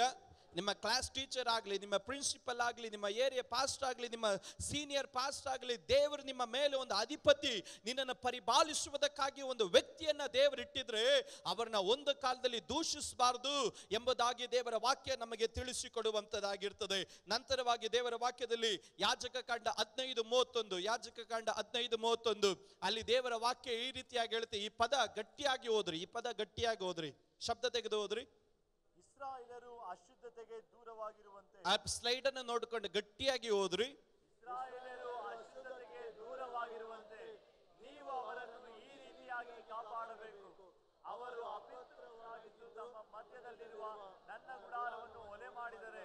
ಅಲ್ಲಿ ಬೈಬಲ್ ಈ ರೀತಿಯಾಗಿ ಹೇಳುತ್ತೆ ನೋಡ್ರಿ. ಬೈಬಲ್ ಹೇಳುತ್ತೆ ಇಸ್ರಾಯೇಲರು ದೇವರ ಮಕ್ಕಳು ಅಶುದ್ಧಕ್ಕೆ ದೂರವಾಗಿರ್ಬೇಕು. ದೂರವಾಗದೆ ಹೋದ್ರೆ ಏನ್ ಪ್ರಾಬ್ಲಮ್ ಗೊತ್ತಾ? ಅವ್ರು ಬಂದು ದೇವರ ಆಲಯನ್ನೇ ಅಶುದ್ಧ ಮಾಡಿಬಿಡ್ತಾರೆ ಎಂದು. ಬೈಬಲ್ ಅಲ್ಲಿ ಹೇಳ್ತಾ ಇದೆ, ಇಸ್ರಾಯೇಲರು ಅವರು ಹೊರಗಡೆ ಪ್ರಪಂಚಕ್ಕೆ ಹೋದಾಗ್ಲೂ, ಕಾಲೇಜ್ಗೆ ಹೋದಾಗ್ಲೂ, ಕುಟುಂಬಕ್ಕೆ ಹೋದಾಗ್ಲೂ ಅವರು ಪರಿಶುದ್ಧತೆ ಉಳ್ಳವರಾಗಿರ್ಬೇಕು, ಅಶುದ್ಧಕ್ಕೆ ದೂರವಾಗಿರ್ಬೇಕು. ಗಟ್ಟಿಯಾಗಿ ಅಶುದ್ಧಕ್ಕೆ ದೂರವಾಗಿರ್ಬೇಕು. ಗಟ್ಟಿಯಾಗಿ ಅಶುದ್ಧಕ್ಕೆ ದೂರವಾಗಿರ್ಬೇಕು. ಅಶುದ್ಧಕ್ಕೆ ದೂರವಾಗದೆ ಹೋದ್ರೆ ಏನ್ ಸಂಭವಿಸುತ್ತೆ ಗೊತ್ತಾ? ಅವರು ಒಳಗಡೆ ಬಂದು ದೇವರ ಆಲಯವನ್ನ ಏನ್ ಮಾಡ್ತಾರೆ? ಒಲ್ಲೆ ಮಾಡಿದ್ರೆ ದೇವರ ಆಲಯದಲ್ಲಿ ಅಶುದ್ಧವನ್ನು ತಗೊಂಡು ಯಾರಾದ್ರೂ ಬಂದು ದೇವರ ಸಭೆಯನ್ನು ಅಶುದ್ಧ ಮಾಡಿದ್ರೆ ದೇವರವನನ್ನು ಹಾಳು ಮಾಡ್ತಾನೆ ಅಂತ ದೇವರ ವಾಕ್ಯ ಹೇಳುತ್ತೆ ಇವತ್ತು ನಾನು ಒಂದು ಕಾರ್ಯ ಹೇಳ್ತೇನೆ, ಸಭೆಗೆ ಬರುವಂತ ಯವನಸ್ಥರೇ, ನಿಮ್ಮಿಂದ ಯಾರಾದ್ರೂ ಕೆಡಬಾರದು. ಕೆಟ್ಟರೆ ದೇವರು ನಿಮ್ಮನ್ನು ಬಿಡಲ್ಲ. ಎಚ್ಚರವಾಗಿರ್ಬೇಕು. ಸಭೆಗೆ ಬಂದಾಗ ನಿನ್ನಿಂದ ಯಾರು ಕೆಡಬಾರ್ದು, ನಿನ್ನಿಂದ ಯಾರಾದ್ರೂ ಕೆಟ್ಟರೆ ದೇವರು ಬಿಡಲ್ಲ, ಹುಷಾರಾಗಿರ್ಬೇಕು. ಇದು ದೇವರ ವಾಕ್ಯದ ಪ್ರಮಾಣ ಇದು. ನೀನು ಸಭೆಗೆ ಬಂದಾಗ ಪರಿಶುದ್ಧನಾಗಬೇಕು. ನಿನ್ನಿಂದ ಯಾರಾದ್ರೂ ಅಡ್ಡದಾರಿಗೆ ಕಾಲಿಟ್ರೆ, ನಿನ್ನಿಂದ ಯಾರಾದ್ರೂ ಅಶುದ್ಧನಾದರೆ, ನಿನ್ನಿಂದ ಯಾರಾದ್ರೂ ದೇವರನ್ನ ಬಿಟ್ಟು ಹೋದ್ರೆ ನಿನ್ನಿಂದ ಯಾರಾದರೂ ದೇವರ ಸಭೆಯನ್ನ ಅಥವಾ ಪಾಸ್ಟ್ಗಳು ಪಶ್ಚಾತ್ತಾಪ ಪಡೋದಕ್ಕೆ, ಅಳೋದಕ್ಕೆ, ವೇದನೆ ಪಡೋದಕ್ಕೆ ಏನಾದರೂ ಅನುಮತಿ ಮಾಡಿ ಕೊಟ್ರೆ ಬೈಬಲ್ ಹೇಳುತ್ತೆ, ನಾಶವಾಗ್ತಾರೆ ಅವರು. ನಾಶವಾಗ್ತಾರೆ. ನೀನ್ ಸಭೆಗೆ ಬಂದಾಗ ನಿನ್ನಿಂದ ಯಾರು ಕೆಡಬಾರದು. ಹಾಲಲೂಯ. ಇವತ್ತು ಅನೇಕ ಯವನಸ್ಥರುಗಳು ಮಾಡುವಂತ ಕಾರ್ಯ ಏನ್ ಗೊತ್ತಾ? ಸಭೆಗೆ ಬರ್ತಾರೆ. ಅವರು ನಾನು ಅನೇಕರನ್ನ ನಾನು ಗಮನಿಸಿದ್ದೇನೆ. ಅನೇಕ ಕಡೆಗಳಲ್ಲಿ ಹೋದಾಗ ಅವ್ರು ಬರೋದು ಮಾತ್ರ ಅಲ್ಲ, ಅವ್ರು ಸಭೆಗೆ ಬರದೇ ಇರೋದು ಮಾತ್ರ ಅಲ್ಲ. ಅವರು ಒಂದು ಫ್ರೆಂಡ್ ಮಾಡ್ಕೊಳ್ತಾರೆ ಫ್ರೆಂಡ್ ಮಾಡ್ಕೊಂಡ ನಂತರ ಅವನು ಸಭೆಗೆ ಬರ್ದಿದ್ದಂಗೆ, ಅವನು ಸೇವೆಗೆ ಬರ್ದಿದ್ದಂಗೆ ಚೆನ್ನಾಗೇ ಇರ್ತಾನೆ. ಬೇಡದಿರೋ ಬರ್ತಾರೆ ಸವಾಸ ಮಾಡ್ತಾರೆ. ಅವನು ದೇವರಿಂದ ದೂರ ಆಗೋದು ಮಾತ್ರ ಅಲ್ಲ, ಅವನು ಕರ್ಕೊಂಡು ಹೋಗ್ತಾರೆ ಒಂದು ನಾಲ್ಕು ಜನ. ನಾನು ಒಂದು ಕಾರ್ಯ ಹೇಳ್ತೇನೆ, ಅದು ನಿನ್ನ ಜೀವನದಲ್ಲಿ ಆಶೀರ್ವಾದ ಎಂದಿಗೂ ತರಲ್ಲ. ಅದು ಎಂದಿಗೂ ತರಲ್ಲ. ಸ್ವಲ್ಪ ಗಟ್ಟಿಯಾಗಿದೆ ಪದ, ಆದರೂ ಹೇಳಲೇಬೇಕು. ನಿನ್ನಿಂದ ಯಾರಾದರೂ ದೇವರ ಸಭೆಯಿಂದ ದೂರ ಆದ್ರೋ, ನಿನ್ನಿಂದ ಯಾರಾದರೂ ದೇವರ ಸೇವೆಯಿಂದ ದೂರ ಆದರೂ, ಯಾರಾದರೂ ನೀನು ಅಶುದ್ಧ ಮಾಡಿಕೊಂಡು ಇತರರನ್ನ ನೀನು ಅಶುದ್ಧ ಮಾಡಿ ದೇವರಿಂದ ನೀನು ದೂರ ಕರ್ಕೊಂಡು ಹೋದೋ, ದೇವರು ಬಿಡಲ್ಲ. ದೇವರು ಒಂದು ಕಾಲದಲ್ಲೂ ನಿನ್ನನ್ನು ಬಿಡೋದಿಲ್ಲ. ದೇವರು ನಿನಗೆ ಅದಕ್ಕೆ ತಕ್ಕಂತೆ ನ್ಯಾಯವನ್ನ ದೇವರು ತೀರಿಸೇ ತೀರಿಸ್ತಾನೆ. ಏನಕ್ಕೆ ನಾನು ಇದನ್ನು ಹೇಳ್ತಾ ಇದ್ದೀನಿ ಅಂದರೆ, ಇದೆಲ್ಲ ನಾವು ಪ್ರಸಂಗ ಮಾಡೋದಿಲ್ಲ, ಇದೆಲ್ಲ ಇದೆಲ್ಲ ಯವನಸ್ಥರುಗಳು, ನಾವು ಅನೇಕರಿಗೆ ನಮಗೆ ಗೊತ್ತಿಲ್ಲ. ಗೊತ್ತಿಲ್ಲದೆ ಇರೋದ್ರಿಂದ ಇವತ್ತು ನಾವು ಚಿಂತೆ ಮಾಡ್ತೇವೆ ನಾನು ಬಂದು ಮ ಸಭೆಯಲ್ಲಿ ಕೂತ್ಕೊಂಡೆ, ಮೊಬೈಲ್ ಆಟ ಪಕ್ಕದಲ್ಲಿರೋನ ಪಕ್ಕದಲ್ಲಿರೋನು ಆಟ ಆಡ್ದೆ ಪಕ್ಕದಲ್ಲಿರೋನು ಆಟ ಆಡ್ದೆ ಪಕ್ಕದಲ್ಲಿರೋನು ಮಾತಾಡ್ದ, ಹೋದ್ರಿ ಟ್ರಿಪ್ ಹೊಡೆದ್ರಿ ಸುತ್ತಾಡ್ರಿ ನಂತರ ಏನೋ ಪ್ರಾಬ್ಲಮ್ ಆಯ್ತು, ಮತ್ತೆ ನಾನು ಬರಲ್ಲ. ಅವನ ಜೊತೆ ಕರ್ಕೊಂಡು, ಲೇ, ನೀ ನಾನೇ ಆಶೀರ್ವಾದ ಹೊಂದಿಲ್ಲ, ನೀನ್ ಯಾಕೆ ಆಶೀರ್ವಾದ ನಾನೇ ಆ ಉದ್ಧಾರ ಆಗ್ಲಿ ನಿನ್ಯಾರು ಉದ್ಧಾರ ಮಾಡ್ತಾರೆ, ಬಾರು, ಹುಷಾರು. ದೇವರು ಬಿಡಲ್ಲ ದೇವರು ಬಿಡಲ್ಲ. ಯಾರಾದ್ರೂ ನಿನ್ನ ಸಭೆಗೆ ಬಂದ್ರೆ ನಿನ್ನಿಂದ ನಾಲ್ಕು ಜನ ಅಭಿಷಕ್ತರಾಗಬೇಕೇ ಹೊರತು ನಿನ್ನಿಂದ ಯಾರಾದ್ರೂ ಕೆಟ್ರೆ ನೀನ್ ಪ್ರಾರ್ಥನೆ ಮಾಡಿದ್ರೆ ನಿನ್ನಿಂದ ನಾಲ್ಕು ಜನ ಪ್ರಾರ್ಥನೆ ಮಾಡೋರಾಗಿರ್ಬೇಕು. ನೀನ್ ಆರಾಧನೆ ಮಾಡಿದ್ರೆ ನಿನ್ನಿಂದ ನಾಲ್ಕು ಜನ ಆರಾಧನೆ ಮಾಡೋರಾಗಿರ್ಬೇಕು. ನೀನು ಉಪವಾಸ ಮಾಡೋನಾಗಿದ್ರೆ ನಿನ್ನಿಂದ ನಾಲ್ಕು ಜನ ಉಪವಾಸ ಮಾಡೋರಾಗಿರ್ಬೇಕು. ನೀನು ಸುವಾರ್ತೆ ಸಾರೋನಾಗಿದ್ರೆ ನಿನ್ನಿಂದ ನಾಲ್ಕು ಜನ ಸುವಾರ್ತೆ ಸಾರೋನಾಗಿರ್ಬೇಕು. ಈ ದೇವರ ಸಭೆಯಿಂದ, ಈ ದೇವರ ರಾಜ್ಯದಿಂದ ನಿನ್ನಿಂದ ಯಾರಾದರೂ ಅಶುದ್ಧನಾದ್ರೆ ಹುಷಾರು, ನ್ಯಾಯ ತೀರ್ಪು ಎನ್ನುವುದು ಕಟ್ಟಿಟ್ಟ ಬುತ್ತಿ ನಿನಗೆ. ಆದ್ರಿಂದ ಸಭೆ ಈ ವಿಷಯಗಳಲ್ಲಿ ಎಚ್ಚರವಾಗಿರಬೇಕು. ಪ್ರತ್ಯೇಕವಾಗಿ, ವಿಶೇಷವಾಗಿ ಯವನಸ್ಥರು ಅಶುದ್ಧಕ್ಕೆ ದೂರವಾಗಿರಬೇಕು ಎನ್ನುವುದನ್ನ ಚೆನ್ನಾಗಿ ಅರ್ಥ ಮಾಡ್ಕೊಳ್ಬೇಕು. ಸಂತೋಷ ಇದ್ರೆ ಮಾತ್ರ ಗಟ್ಟಿಯಾಗಿ ಒಂದು ಆಮೇಲೆ ಹೇಳ್ರಿ. ನಾವು ಇನ್ನ ಪ್ರಾರ್ಥನೆ ಮಾಡ್ಲಿಲ್ಲ, ಪ್ರಾರ್ಥನೆ ಮಾಡ್ಲಿಕ್ಕೆ ಹೋಗ್ತೀವಿ ನಾನು ಹೇಳ್ದೆ ಸಂತೋಷ ಉಳ್ಳವ್ರು ಮಾತ್ರ ಗಟ್ಟಿಯಾಗಿ ಒಂದು ಆಮೇಲೆ ಹೇಳ್ರಿ. ಯಾಜಕ ಕಂಡ ಹತ್ತೊಂಬತ್ತು ಇಪ್ಪತ್ತಾರು ಹತ್ತೊಂಬತ್ತು ಇಪ್ಪತ್ತಾರು ಹತ್ತೊಂಬತ್ತು ಇಪ್ಪತ್ತಾರು ರಕ್ತ ಸಹಿತವಾದ ಯಾವ ಮಾಂಸವನ್ನು ನಾನು ತಿನ್ನೋ ವಿಷಯದಲ್ಲಿ ಏನು ಮಾತಾಡಲ್ಲ. ಅದು ಬೇರೊಂದು ವಿಷಯ, ಆ ಟಾಪಿಕ್ ನಾನು ಮುಟ್ಟೋದಿಲ್ಲ. ದೇವರ ವಾಕ್ಯ ಹೇಳ್ತೆ, ಯಂತ್ರ ಮಂತ್ರಗಳನ್ನು ಮಾಡಬಾರ್ದು. ಶಕುನ ನೋಡಬಾರ್ದು, ಚೆಂಡಿಗೆ ಬಿಡಬಾರ್ದು, ಗಡ್ಡವನ್ನ ವಿಕಾರ ಮಾಡ್ಕೊಳ್ಬಾರ್ದು. ಇದ್ ಕಡೆ ತಿರುಗಿ ಮಾತಾಡ್ಬೇಕು. ಈ ಫ್ರೆಂಚು, ಈ ಈ ಈ ಕುರುಕುಲ್ ಗಡ್ಡ, ಅದೆಲ್ಲ ಬಿಡಬೇಡಪ್ಪ, ದೇವ್ರ ಮುಂದೆ ಅಂತ ದೇವ್ರು ಹೇಳ್ತಾನೆ. ಚೇ ಮಾಡಂಗಿದ್ರೆ ನೀಟಾಗಿ ಮಾಡು. ಇಲ್ಲ ಗಡ್ಡ ಬಿಡ್ತೀಯ ಫುಲ್ಲಾಗಿ ಬಿಡು. ಅರ್ಧಂಬರ್ಧ ಅಂತೂ ವಿಕಾರ ಮಾಡಬೇಡ ಅಂತ ದೇವ್ರ ವಾಕ್ಯ ಹೇಳುತ್ತೆ. ಹಾಲಲೂಯ ಗಟ್ಟೆಗಳ್ರಿ. ಹಾಲಲೂಯ. ಹಾಲಲೂಯ. ಕಟ್ಟಿಂಗು ಅಷ್ಟೇ, ವಿಚಿತ್ರ ಮಾಡ್ಕೋಬಾರ್ದು. ಈ ಕಾಲದಲ್ಲಿ ಕಟ್ಟಿಂಗ್ಳು ನಮ್ಮ ಸಭೆಗೆಲ್ಲ ಬಂದ್ರು, ಈಗೆಲ್ಲ ಕ್ಲೀನ್ ಆಗಿದೆ ಸೋತ್ರ. ಸೈಡಲ್ಲೆಲ್ಲ ಬೋಡ್ಸ್ಕೊಳ್ತಾರೆ ಇಲ್ಲಿ ಮಾತ್ರ ಬಿಟ್ಟಿರ್ತಾರೆ, ಅಂದಿಗೆ ಕೂದಲು ಬಿಟ್ಟಂಗೆ ಸೋತ್ರ. ಅದು ನಡೆಯಂಗಿಲ್ಲ ದೇವ್ರ ಸಭೆಯಲ್ಲಿ. ಲೋಕಕ್ಕಿದೆ, ದೇವ್ರ ಸಭೆಗಿಲ್ಲ ಅದು. ದೇವ್ರ ಮಕ್ಕಳಿಗಿಲ್ಲ. ನೀನು ಕ್ಲೀನಾಗಿ ಶೇವ್ ಮಾಡಬೇಕು, ನೀನು ಕ್ಲೀನಾಗಿ ಏರ್ ಕಟ್ ಮಾಡಬೇಕು. ಲೋಕದವರು ಮಾಡುವಂಥ ಯಾವ ಕಾರ್ಯಗಳು ನಮಗೆ ಬೇಡ. ಅದರಿಂದ ದೇವರು ಹೇಳ್ತಾನೆ, ಅಲ್ಲಿ ದೀನು ಗಡ್ಡವನ್ನ ವಿಕಾರ ಮಾಡಿಕೊಳ್ಬಾರ್ದು. ನಂತರ ದೇವರ ವಾಕ್ಯ ಸತ್ತವರಿಗೋಸ್ಕರ ದುಃಖವನ್ನು ಸೂಚಿಸುವುದಕ್ಕೆ ದೇಹದ ಮೇಲೆ ಗಾಯ ಮಾಡಿಕೊಳ್ಬಾರ್ದು. ಶರೀರದ ಮೇಲೆ ಹಚ್ಚನ್ನು ನೀನು ಹಾಕ್ಸ್ಕೊಳ್ಬಾರ್ದು. ಯಾವ ಟ್ಯಾಟೋ ನೀನು ಹಾಕ್ಸ್ಕೊಳ್ಬಾರ್ದು. ಇವತ್ತು ಅನೇಕ ಯವನಸ್ಥರು ಅನೇಕ ಪೀಳಿಗೆಗಳು ಇವತ್ತು ಹಚ್ಚಾಕ್ಸ್ಕೊಳ್ತಾರೆ ಕೈಗಳಿಗೆ. ಒಂದು ಕಾಲದಲ್ಲಿ ನಿಮ್ಗೆ ಗೊತ್ತಿಲ್ಲದೆ ನೀವು ಹಚ್ಚಾಕ್ಸ್ಕೊಳ್ರಿ. ಅದು ತೊಂದರೆ ಇಲ್ಲ. ಅದ್ರ ರಕ್ಷಣೆ ಒಂದದ ಮೇಲೆ ಹಚ್ಚಾಕ್ಸ್ಕೊಳ್ತೀರಲ್ಲ, ಅದು ದೇವರಿಗೆ ಇಷ್ಟ ಇಲ್ಲದ ಕಾರ್ಯ ಕಾರಣ ಏನಂದ್ರೆ, ನಿನ್ನ ಶರೀರ ಪೂರ್ತಿಯಾಗಿ ದೇವರಿಗುಳ್ಳದದು ನಿನ್ನ ಶರೀರ ಪೂರ್ತಿಯಾಗಿ ದೇವರಿಗುಳ್ಳದು ಅಲ್ಲಿ ದೇವರ ವಾಕ್ಯ ಹೇಳ್ತದೆ ಯಾವ ಹಚ್ಚನ ಟ್ಯಾಟೋನ ನೀನು ಹಾಕಿಸ್ಕೊಳ್ಬಾರ್ದು. ಬೈಬಲ್ ಹೇಳ್ತದೆ ನಾನು ಯಹೋವನಾಗಿದ್ದೇನೆ ಎಂದು. ಹಾಗಾದ್ರೆ ಯವನಸ್ಥರು ಕಟಿಂಗ್ ಮಾಡೋ ವಿಷಯದಲ್ಲಿ ಶೇವಿಂಗ್ ಮಾಡೋ ವಿಷಯದಲ್ಲಿ ನೀಟಾಗಿರಬೇಕು. ಎರಡನೇದಾಗಿ ನಿಮ್ಮ ಶರೀರದಲ್ಲಿ ಯಾವ ಚುಚ್ಚು ಅಂದ್ರೆ ಯಾವ ಟ್ಯಾಟೋ ಆಗಲಿ ಯಾವನ್ನ ಹಚ್ಚನ್ನಾಗ್ಲಿ ನೀವು ಹಾಕ್ಸ್ಕೊಳ್ಳಲೇಬಾರ್ದು. ಅದು ದೇವರ ವಾಕ್ಯದ ಪ್ರಮಾಣಕ್ಕೆ ವಿರುದ್ಧವಾದದ್ದು ಅದು. ಹಾಲಲೂಯ. ಕಾಲೇಜುಗಳೆಲ್ಲ ಇವತ್ತು ಅನೇಕ ಯವನಸ್ತ್ರಗಳೆಲ್ಲ ಗಮನಿಸಿದಾಗ ಇವತ್ತು ಅನೇಕ ವರ್ಷಿಪ್ ಲೀಡರ್ಗಳು ಸಹ ಆ ರೀತಿ ಕಾರ್ಯಗಳನ್ನು ಮಾಡ್ತಾರೆ. ಅವ್ರು ಹೇಳ್ತಾರೆ, ಅವರೆಲ್ಲ ಹಾಕ್ಸ್ಕೊಂಡಿದ್ದಾರೆ, ನಾವು ಹಾಕ್ಸ್ಕೊಂಡ್ರೆ ತಪ್ಪಾಯ್ತ. ನಾನು ಒಂದು ಕಾರ್ಯ ಹೇಳ್ತೇನೆ, ಹೊರಗಡೆ ವಿಷಯ ನಮಗೆ ಬೇಕಾಗಿಲ್ಲ. ವಾಕ್ಯ ಗೊತ್ತಿರುವಂತ ನೀನು ಒಂದು ಕಾಲದಲ್ಲಿ ಅವರು ಇವ್ರನ್ನ ಧ್ಯಾನ ಯಾವಾಗಲೂ ಹೇಳ್ತೇನೆ, ನಮ್ಮ ದೇವರ ರಾಜ್ಯಕ್ಕೆ ಡೂಪ್ಲಿಕೇಟ್ಗಳು ಬೇಕಾಗಿಲ್ಲ. ದೇವರ ರಾಜ್ಯಕ್ಕೆ ಒರಿಜಿನಲ್ ಕಾಪಿಗಳು ಬೇಕು. ಇವತ್ತು ಅವ್ರು ಮಾಡ್ತಾರೆ, ಇವ್ನು ಮಾಡ್ತಾರೆ, ನಾನು ಅದೇ ರೀತಿ ಮಾಡ್ತೀನಿ ಅಂದ್ರೆ ನೀನು ಒರಿಜಿನಲ್ ಅಲ್ಲ, ನೀನು ಡೂಪ್ಲಿಕೇಟ್ ನಿನ್ನನ್ನು ನೋಡಿ ಲೋಕ ಕಲಿಬೇಕೆ ಹೊರತು ಲೋಕವನ್ನು ನೋಡಿ ನೀನು ಕಲಿಬಾರದು. ಹಾಲಲೂಯ. ಅದರಿಂದನೇ ದೇವರ ವಾಕ್ಯ ಸ್ಪಷ್ಟವಾಗಿ ನಮಗೆ ಹೇಳುವಂತ ಕಾರ್ಯ ಅಚ್ಚನ್ನ ನೀನು ಹಾಕಿಸ್ಕೊಳ್ಬಾರ್ದು ನಂತರವಾಗಿ ಯಾಜಕ ಕಂಡ ಹತ್ತೊಂಬತ್ತು ಹನ್ನೊಂದು ಹನ್ನೆರಡು, ಯಾಜಕ ಕಂಡ ಹತ್ತೊಂಬತ್ತು ಹನ್ನೊಂದು ಹನ್ನೆರಡು, ಅಲ್ಲಿ ದೇವರ ವಾಕ್ಯ ಹೇಳ್ತದೆ, ಕದಿಯಬಾರದು, ಮೋಸ ಮಾಡಬಾರದು, ಒಬ್ಬರಿಗೊಬ್ಬರು ಸುಳ್ಳಾಡಬಾರದು ನನ್ನ ಹೆಸರಿನ ಮೇಲೆ ಸುಣ್ಣ, ಸುಳ್ಳಾಣೆ ಇಟ್ಟು ನಿಮ್ಮ ದೇವರ ನಾಮವನ್ನು ಅಪಕೀರ್ತಿಗೆ ಒಳಪಡಿಸಬಾರದು ಎಂದು ಯಹೋವನು ಹೇಳ್ತಾ ಇದ್ದಾನೆ. ಹಾಗಾದ್ರೆ ನಾವು ಒಂದು ಕಾಲದಲ್ಲಿ ಸುಳ್ಳು ಹೇಳಬಾರ್ದು, ಮೋಸ ಮಾಡಬಾರ್ದು, ನಾವು ಒಂದು ಕಾಲದಲ್ಲಿ ಒಬ್ಬರಿಗೊಬ್ಬರಿಗೂ ಸುಳ್ಳು ಅಲ್ಲಿ ಹೇಳಬಾರ್ದು, ಕದಿಯಬಾರ್ದು. ದೇವರ ಹೆಸರನ್ನು ನಿಜವಾಗ್ಲೂ ದೇವರಾಣೇ ಅಂತ ಹೇಳ್ಬಾರ್ದು. ಕೆಲವರು ಇದ್ದಾರೆ ಬಾಯಿ ತೆರೆದೆ, ಅಪ್ನಾಣೆ ಅಮ್ಮನಾಣೆ ನಮ್ಮ ದೇವ್ರ ಆಣೆ ಅಂತ. ಸೋತ್ರ, ದೇವ್ರು ಹೇಳ್ತೇನೆ ಅಂತ ಎಲ್ಲಾದ್ರೂ ಹೇಳ್ಬಿಟ್ಟಿರ. ದೇವ್ರು ಹೇಳ್ತೇನೆ, ನನ್ನ ನಾಮ ಅದು ಅಪಕೀರ್ತಿಗೆ ಒಳಪಡುತ್ತದೆ ಎಂಬುದು ದೇವರ ವಾಕ್ಯ ನಮಗೆ ತಿಳಿಸಿಕೊಡುತ್ತೆ. ಧರ್ಮೋಪದೇಶ ಕಂಡ ಏಳು, ಮೂರು ಮತ್ತು ನಾಲ್ಕನೇ ವಾಕ್ಯ, ಇದನ್ನ ಯವನಸ್ಥರು ಗಮನಿಸಬೇಕು. ಯವನಸ್ಥರು ಗಮನಿಸಬೇಕು. ದೇವರ ವಾಕ್ಯದಲ್ಲಿ ನಾವು ಗಮನಿಸಲಿಕ್ಕೆ ಸಾಧ್ಯ. ನಾನು ಆ ವಾಕ್ಯ ಹೇಗಿದೆಯೋ ಅದನ್ನ ನಾವು ಅರ್ಥ ಮಾಡಿಕೊಳ್ಳುವ ಹಾಗೆ ನಾನು ಹೇಳ್ತೀನಿ. ಗಟ್ಟಿಯಾಗಿ ಓದ್ಬಿಡ್ರಿ ನೀವು ಗಟ್ಟಿಯಾಗಿ ಒಂದ್ಸರಿ ಓದ್ರಿ, ಆಮೇಲೆ ನಾನು ಮಾಡಬಾರದು. ಅವರ ಮಕ್ಕಳಿಗೆ ಹೆಣ್ಣುಗಳನ್ನು ಕೊಡಲೂಬಾರದು. ಅವರಿಂದ ತರಲೂಬಾರದು. ಹಾಗೆ ಮಾಡಿದರೆ ಅವರು ನಿಮ್ಮ ಮಕ್ಕಳನ್ನು ಯಹೋವನ ಸೇವೆಯಿಂದ ತಪ್ಪಿಸಿ, ಇತರ ದೇವರುಗಳನ್ನು ಪೂಜಿಸುವುದಕ್ಕೆ ತಿರುಗಿಸಾರು. ಆಗ ಯಹೋವನು ನಿಮ್ಮ ಮೇಲೆ ಕೋಪಗೊಂಡು ಬೇಗನೆ ನಿಮ್ಮನ್ನು ನಾಶ ಮಾಡುವನು ಇವತ್ತು ಅನೇಕ ಯವನಸ್ಥರುಗಳು ತಲೆಮಾರುಗಳು ಮಾಡ್ತಿರುವಂತ ಒಂದು ಕಾರ್ಯ ಅನ್ಯರ ಸಂಗಡ ಇಜ್ಜೋಡಾಗ್ತಾ ಇದ್ದಾರೆ. ಪರಿಶುದ್ಧತೆ ಇಲ್ಲದವರು, ಕ್ರಿಸ್ತನ ನಾಮವನ್ನು ಧರಿಸದೇ ಇರುವವರು, ಅನೇಕ ಕಡೆಗಳಲ್ಲಿ ಇಜ್ಜೋಡಾಗ್ತಾ ಇದ್ದಾರೆ.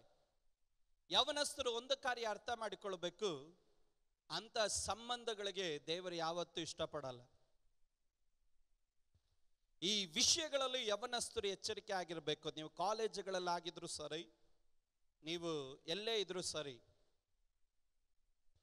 ಒಂದು ಪಕ್ಷ ಮದುವೆ ಪ್ರಾಯಕ್ಕೆ ಬಂದಂತ ಕಾರ್ಯಗಳಾದ್ರೂ ಸರಿ, ಯೌವನಸ್ಥರುಗಳು ದಯವಿಟ್ಟು ಹೊರಗಿನವರ ಸಂಗಡ, ದೇವರನ್ನು ಅರಿಯದಿರುವವರ ಸಂಗಡ ಲೋಕದ ಪ್ರಕಾರವಾಗಿ ನಡೆಯೋರ ಸಂಗಡ ಯಾವ ಸಂಬಂಧವನ್ನಾಗಲಿ, ಯಾವ ಸಹವಾಸವನ್ನಾಗಲಿ ಇಟ್ಕೊಳ್ಬಾರ್ದು. ದೇವರ ವಾಕ್ಯ ಹೇಳ್ತದೆ, ದೇವರ ಸೇವೆ ಮಾಡುವಂತ ನೀನು ದೇವರ ಸೇವೆಯಿಂದ ದೂರ ಆದ್ರೆ ಹುಷಾರು ಅಂತ ದೇವರು ಹೇಳ್ತಾ ಇದ್ದಾನೆ. ಕೆಲವರು ಹೇಳ್ತಾರೆ ಫಸ್ಟ್ ಮದುವೆ ಆದ್ಮೇಲೆ ಅವರು ಸರೋಗ್ತಾರೆ, ಚರ್ಚಿಗೆ ಬರ್ತಾರೆ ಅಂತ. ಅಂಥವ್ರ ಇಷ್ಟಿನೇ ನಾವು ನೋಡಿಲ್ಲ. ಬೇಡ ನಮ್ಗದು. ಬೇಡ ನಮ್ಗದು. ಯೌವನಸ್ತ್ರಗಳು ಹುಷಾರಾಗಿರ್ಬೇಕು. ಅವರ ಸಂಗಡ ಚಾಟಿಂಗು ಬೇಡ, ಅವರ ಸಂಗಡ ಸವಾಸನು ಬೇಡ, ಅವರ ಸಂಗಡ ರೌಂಡಿಂಗು ಬೇಡ, ಅವ್ರ ಸಂಗಡ ಕಾಫಿ ಕುಡಿಯೋದು ಬೇಡ. ದೇವರು ಇಷ್ಟಪಡಲ್ಲ. ದೇವರ ಸೇವೆಗುಳ್ಳವರು ನೀವು ಪ್ರತಿಯೊಬ್ಬರು. ದೇವರ ಸೇವೆಗುಳ್ಳವರು. ದೇವರ ರಾಜ್ಯಕ್ಕುಳ್ಳವರು. ದೇವರ ನೀತಿಗುಳ್ಳವರು ನೀವು ಪ್ರತಿಯೊಬ್ಬರು ಎನ್ನುವುದನ್ನು ಚೆನ್ನಾಗಿ ಅರ್ಥ ಮಾಡಿಕೊಳ್ಬೇಕು. ನಿಮ್ಮನ್ನ ದೇವರ ಸೇವೆಯಿಂದ ಯಾರು ದೂರ ನಿಲ್ಲಿಸ್ತಾರೋ ಅಥವಾ ದೇವರ ಸೇವೆಯಿಂದ ನಿಮ್ಮನ್ನು ದೂರ ಮಾಡುವಂತ ಯಾವ ಕಾರ್ಯವನ್ನ ನಿಮ್ಮ ಜೀವಿತದ ಹತ್ತಿರ ತರಬಾರದು.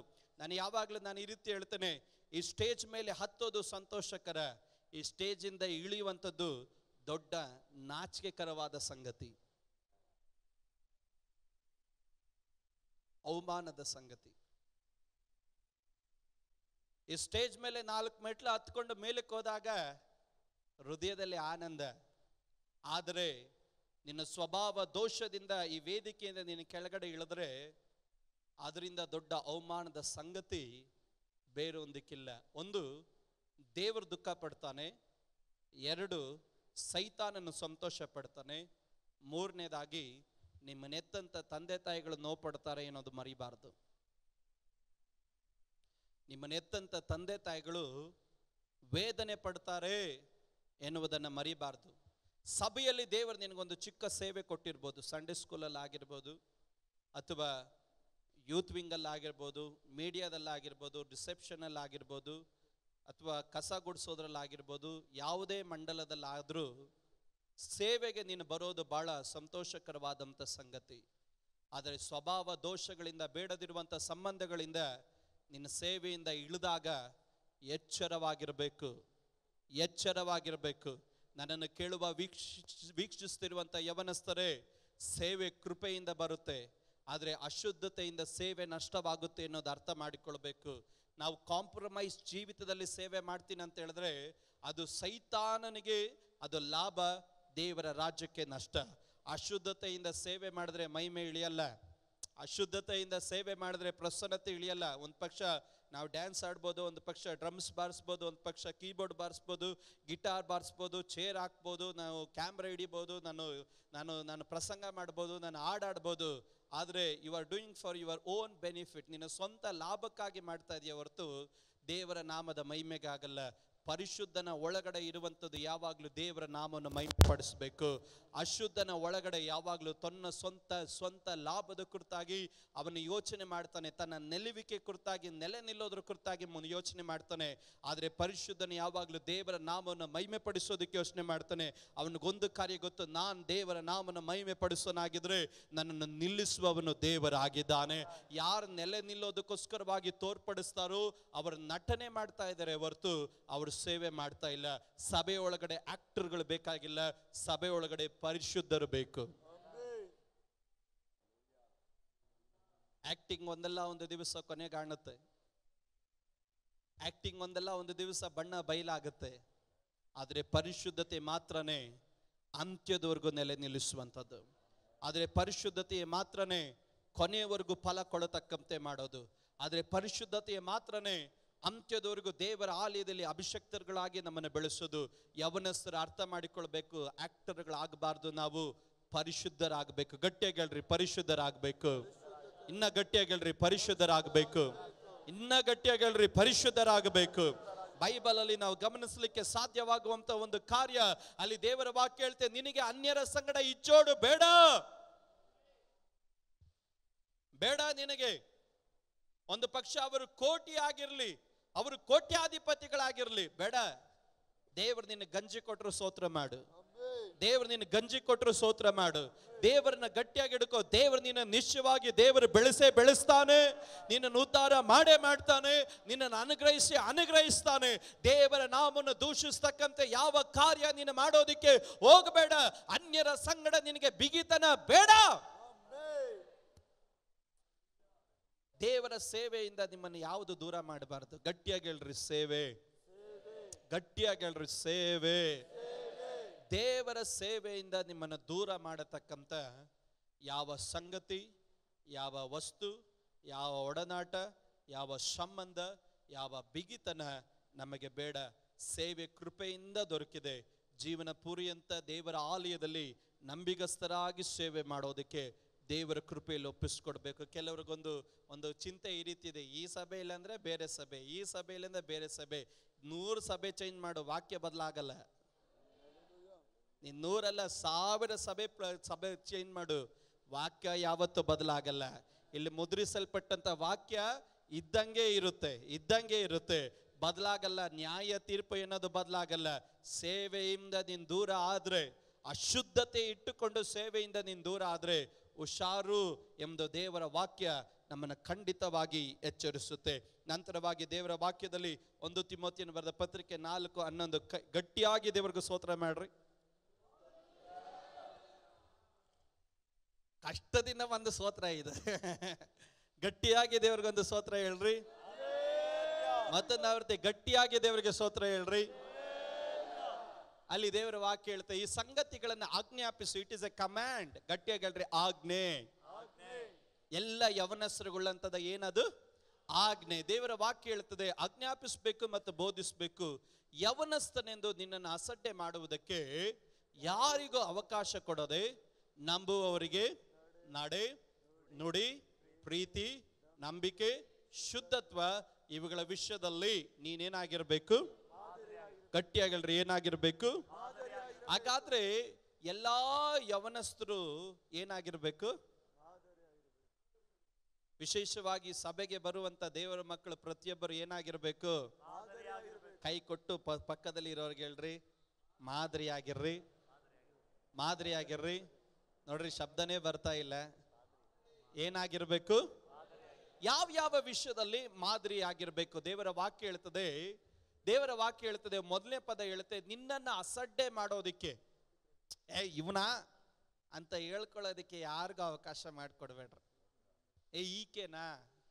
ಏ, ಈತನ? ಅಯ್ಯೋ, ಅಂತ ಹೇಳಿ ಅಸಡ್ಡೆ ಮಾಡೋದಿಕ್ಕೆ, ನಿನ್ನನ್ನ ಬೇಡದಿರುವ ದೃಷ್ಟಿಕೋನದಲ್ಲಿ ನೋಡೋದಕ್ಕೆ, ಅಸಡ್ಡೆ ಮಾಡೋದಕ್ಕೆ ಒಂದು ಕಾಲದಲ್ಲಿ ಅವಕಾಶ ಕೊಡಬೇಡ್ರಿ. ಅಲ್ಲಿ ದೇವರ ವಾಕ್ಯ ಹೇಳ್ತೆ ಯಾರಿಗೂ, ಅಂದ್ರೆ ನಿಮ್ಮ ಅಪ್ಪ, ಅಮ್ಮಗೂ ನಿಮ್ಮ ತಂದೆ ತಾಯಿಗಳಿಗೂ, ನಿಮ್ಮ ಫ್ರೆಂಡ್ಸ್ಗೂ ಚರ್ಚಲ್ಲಿ ಬರೋ ಪಾಸ್ಟ್ರಿಗೂ ನಿನ್ನನ್ನು ನೋಡಿ, ಏ, ಇವನಾ? ಅಂತ ಹೇಳಿ ನಿನ್ನ ವಿಷಯದಲ್ಲಿ ಅಸಡ್ಡೆ ಮಾಡೋದಕ್ಕೆ ಅವಕಾಶ ಕೊಡಬೇಡ್ರಿ. ನಿಮ್ಮನ್ನು ನೋಡಿದಾಗ ಈತನ ಉಪಯೋಗ ಉಳ್ಳವನು ಈತನು ದೇವರ ಸೇವೆಗುಳ್ಳವನು, ಈಕೆ ದೇವರ ರಾಜ್ಯಕ್ಕುಳ್ಳವಳು. ಅಪ್ಪಪ್ಪ, ಒಳ್ಳೆ ಪ್ರಾರ್ಥನೆ ವೀರಳಿ ಮಗಳು ಅಂತ ಹೇಳಿ ನಿನ್ನ ವಿಷಯದಲ್ಲಿ ಸಂತೋಷ ಪಡೋದಕ್ಕೆ ಅವಕಾಶ ಕೊಡಬೇಕೆ ಹೊರತು ಈಕೆನಾ ಎಂದು ಅಸಡ್ಡೆ ಮಾಡೋದಕ್ಕೆ ಯಾರಿಗೂ ಅವಕಾಶ ಕೊಡಬೇಡ್ರಿ. ಹಾಲಲೂಯ. ಅನೇಕರು ಚಿಂತೆ ಮಾಡ್ತಾರೆ ಫಾಸ್ಟ್ಗಳಿಗೆ ಏನು ಗೊತ್ತಾಗಲ್ಲ ಅಂತ. ಅನೇಕ ಯವನಸ್ತ್ರಗಳಿಗೊಂದು ಭಾವನೆ ಇದೆ. ಏನಂತ ಭಾವನೆ ಇದೆ? ಪಾಸ್ಟ್ಗೆ ಏನು ಗೊತ್ತಾಗಲ್ಲ. ಪಾಸ್ಟ್ಗಳಿಗೆ ವಾಕ್ಯ ಮಾತ್ರನೇ. ದೇವ್ರ ಮಕ್ಕಳು ಗಮನಿಸಿ ಪ್ರಸಂಗ ಮಾಡೋರು ನಾವು ಕಣ್ಣು ಮುಚ್ಕೊಂಡು ಪ್ರಸಂಗ ಮಾಡಲ್ಲ. ನೀವು ಇಲ್ಲಿಂದ ನಡ್ಕೊಂಡು ಹೋಗ್ಬೇಕಾದ್ರೆ ಹೆಂಗ್ ನಡ್ಕೊಂಡು ಹೋಗ್ತೀರಾ, ಕುತ್ಕೊಳ್ಬೇಕಾದ್ರೆ ಹೆಂಗ್ ಕುತ್ಕೊಳ್ತೀರಾ, ಯಾರ ಜೊತೆ ಕುತ್ಕೊಳ್ತೀರಾ, ಮನೆಗಳಿಗೆ ಹೋದಾಗ ಯಾವ ರೀತಿ ನಡ್ಕೊಳ್ತೀರಾ, ಸಭೆ ಒಳಗಡೆ ಬರಬೇಕಾದ್ರೆ ಯಾವ ರೀತಿ ಇರ್ತೀರಾ, ರೋಡಲ್ಲಿ ನಡ್ಕೊಂಡು ಹೋಗ್ಬೇಕಾದ್ರೆ ಒಂದ್ ಸರಿ ನೋಡಿದ್ರೆ ಸಾಕು, ನಿಮ್ಮನ್ನ ಕ್ಲೀನಾಗಿ ಸ್ಕ್ಯಾನ್ ಮಾಡಿಬಿಡ್ತೀವಿ. ನಮಗೆ ಗೊತ್ತು, ನಿಮ್ಮ ಹತ್ರ ಬಂದಾಗಲೇ ನಮಗೆ ಗೊತ್ತಾಗುತ್ತೆ ನಿಮ್ಮಲ್ಲಿ ಎಷ್ಟು ಪ್ರಾರ್ಥನೆ ವೆಯ್ಟ್ ಇದೆ, ನಿಮ್ಮಲ್ಲಿ ಎಷ್ಟು ಪರಿಶುದ್ಧತೆಗೆ ವೆಯ್ಟ್ ಇದೆ, ನೀವು ಸೋತ್ರ ಹೇಳದೆ ಇದ್ದಾಗ ನೀವು ಎಷ್ಟು ಭಯಭಕ್ತಿ ಉಳ್ಳವರು ಏನದು ಕ್ಲೀನಾಗಿ ನಮಗೆ ಗೊತ್ತಾಗುತ್ತೆ. ಕ್ಲೀನಾಗಿ ನಮಗೆ ಗೊತ್ತಾಗುತ್ತೆ. ನಾ ಪಾಸ್ಟ್ಗಳು ಪ್ರಸಂಗ ಮಾಡಬೇಕಾದ್ರೆ ಕಣ್ಮುಚ್ಕೊಂಡು ಓ ದೇವರು ನಿಮ್ಮನ್ನು ಆಶೀರ್ವಾದ ಮಾಡಿ ಹೋಗ್ತಾನೆ ಅಂತ ಹೇಳೋದಕ್ಕೆ ಮಾತ್ರ ಅಲ್ಲ ಉಳ್ಳವರು. ಪ್ರತಿಯೊಬ್ಬರು ನಾವು ವೀಕ್ಷಿಸ್ತಾ ಇದ್ದೀವಿ. ಪ್ರತಿಯೊಬ್ಬರ ನಡತೆಯ ಕುರಿತಾಗಿ ನಮಗೆ ಚೆನ್ನಾಗಿ ಗೊತ್ತು. ಪ್ರತಿಯೊಬ್ಬರು ಇಲ್ಲಿ ಕುಳಿತುಕೊಂಡಾಗ್ಲೇ ನಾನು ವಿವೇಚಿಸ್ತೀರಿ, ನಾವು ವಿವೇಚಿಸ್ತೀರಿ. ಯಾವ ಯಾವ ರೀತಿ ಎಷ್ಟು ಜನ ಆಸಕ್ತಿಯಿಂದ ಕುತ್ಕೊಂಡಿದ್ದೀರಾ, ಎಷ್ಟು ಜನ ಆಲಸ್ಯವಾಗಿ ಕುತ್ಕೊಂಡಿದ್ದೀರಾ, ಯಾವ ಯಾವ ವಿಷಯ ಮಾತಾಡಿದಾಗ ಎದೆ ಒಡ್ದಂಗಾಯ್ತು ಕ್ಲೀನಾಗಿ ನಿಮ್ಮ ಮುಖದಲ್ಲಿ ಎಕ್ಸ್ಪ್ರೆಷನಲ್ಲೇ ಗೊತ್ತಾಗ್ಬಿಡುತ್ತೆ ನಮಗೆ.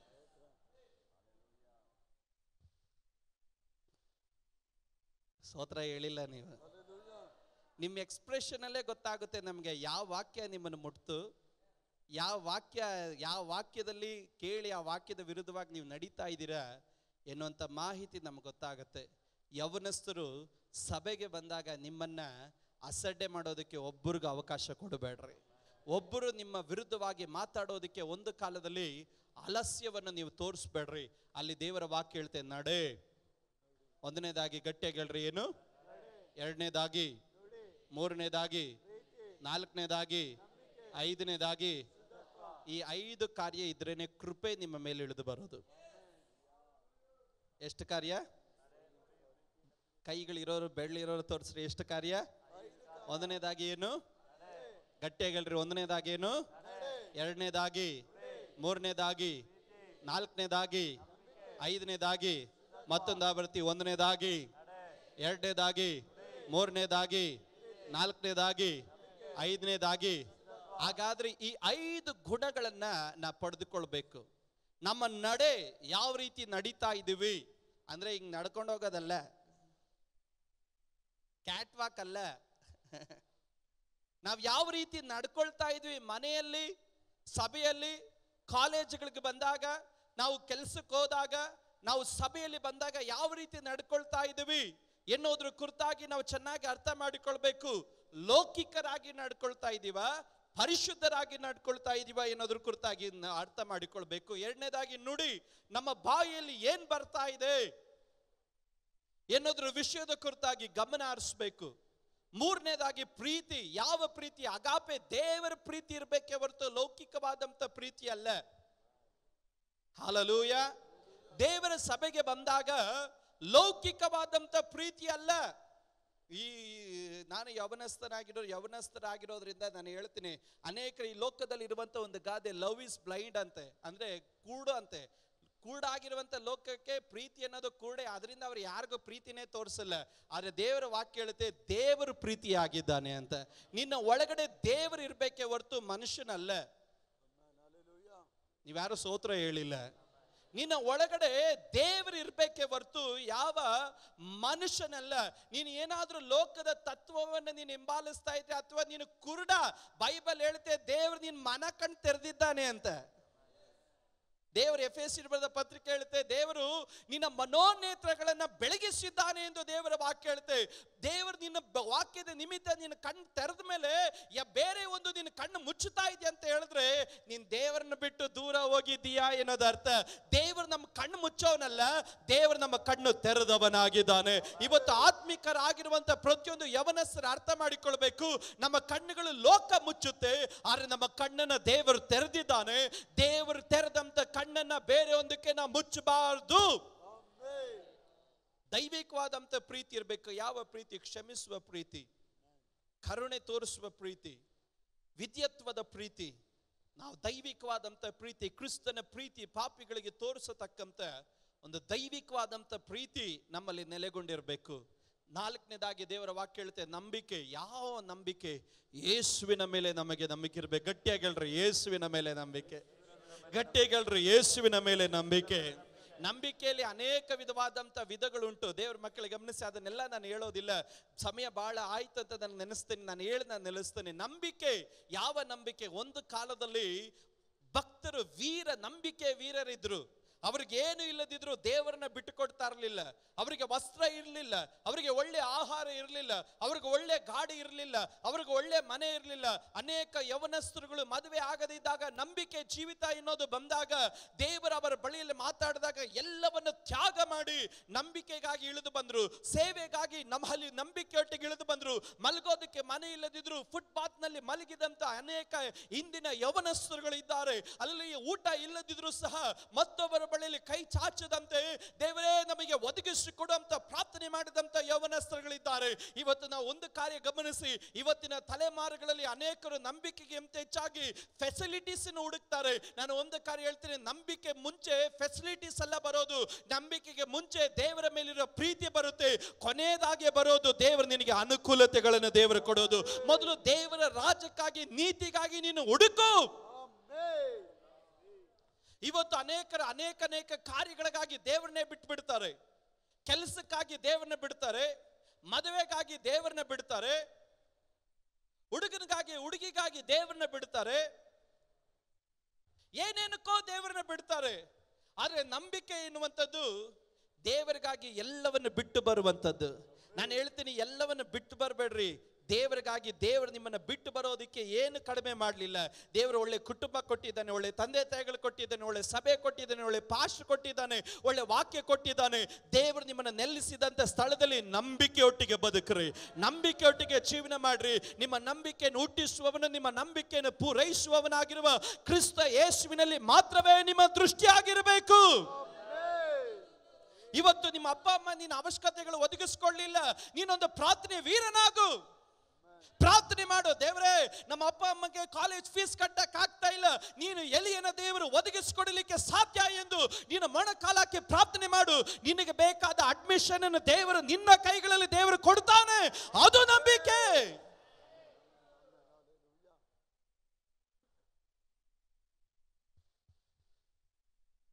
ನಂಬಿಕೆ ಇರಬೇಕು.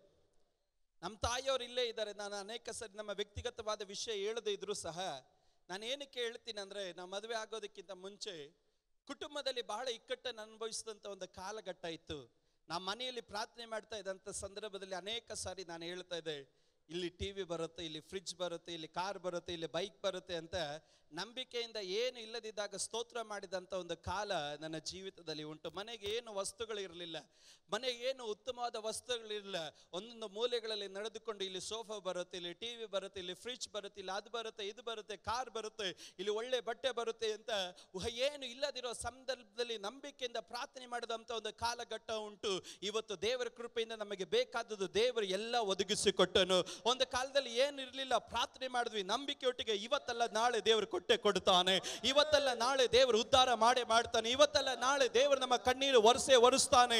ಇವತ್ತಲ್ಲ ನಾಳೆ ನಾನು ಸಾಲ ತೆಗೆದುಕೊಳ್ಳೋದಿಲ್ಲ, ಸಾಲ ಕೊಡುವಂತೆ ದೇವರು ಮಾಡ್ತಾನೆ. ಇವತ್ತು ಯವನಸ್ತರೇ ಆ ನಂಬಿಕೆ ನಿಮ್ಮ ಒಳಗಡೆ ಬಂದ್ರೆ ನಾನು ಒಂದು ಕಾರ್ಯ ಹೇಳ್ತೇನೆ. ಈ ಕರ್ನಾಟಕವನ್ನು ದೇವರು ನಿಮ್ಮ ಕೈಗಳಲ್ಲಿ ಕೊಡುತ್ತಾನೆ. ನೀವು ಈ ಸಭೆಗೆ ಮಾತ್ರ ಅಲ್ಲ, ನೀವು ಬೆಂಗಳೂರಿಗೊಂದು ಮಾದರಿ ಆಗ್ತೀರಾ? ನೀವು ಕರ್ನಾಟಕಕ್ಕೆ ಒಂದು ಮಾದರಿ ಆಗ್ತೀರಾ? ನೀವು ಇಡೀ ಭಾರತಕ್ಕೆ ಒಂದು ಮಾದರಿ ಆಗ್ತೀರಾ? ನೀವು ಇಡೀ ಪ್ರಪಂಚಕ್ಕೆ ನೀವೊಂದು ಮಾದರಿ ಉಳ್ಳವರಾಗ್ತೀರ? ಇವತ್ತು ಕರ್ತನು ಯಾರನ್ನು ಹುಡುಕ್ತಾ ಇದ್ದಾನಂದ್ರೆ ನಂಬಿಕೆ ಉಳ್ಳವರನ್ನ ದೇವರು ಹುಡುಕ್ತಾ ಇದ್ದಾನೆ. ಸಮಸ್ಯೆಗಳಿರ್ಬೋದು. ಆದ್ರೆ ನಂಬಿಕೆ ನಿನ್ನ ಸಮಸ್ಯೆಗಳನ್ನ ಬಗೆಹರಿಸೋದಕ್ಕೆ ಸಾಧ್ಯ.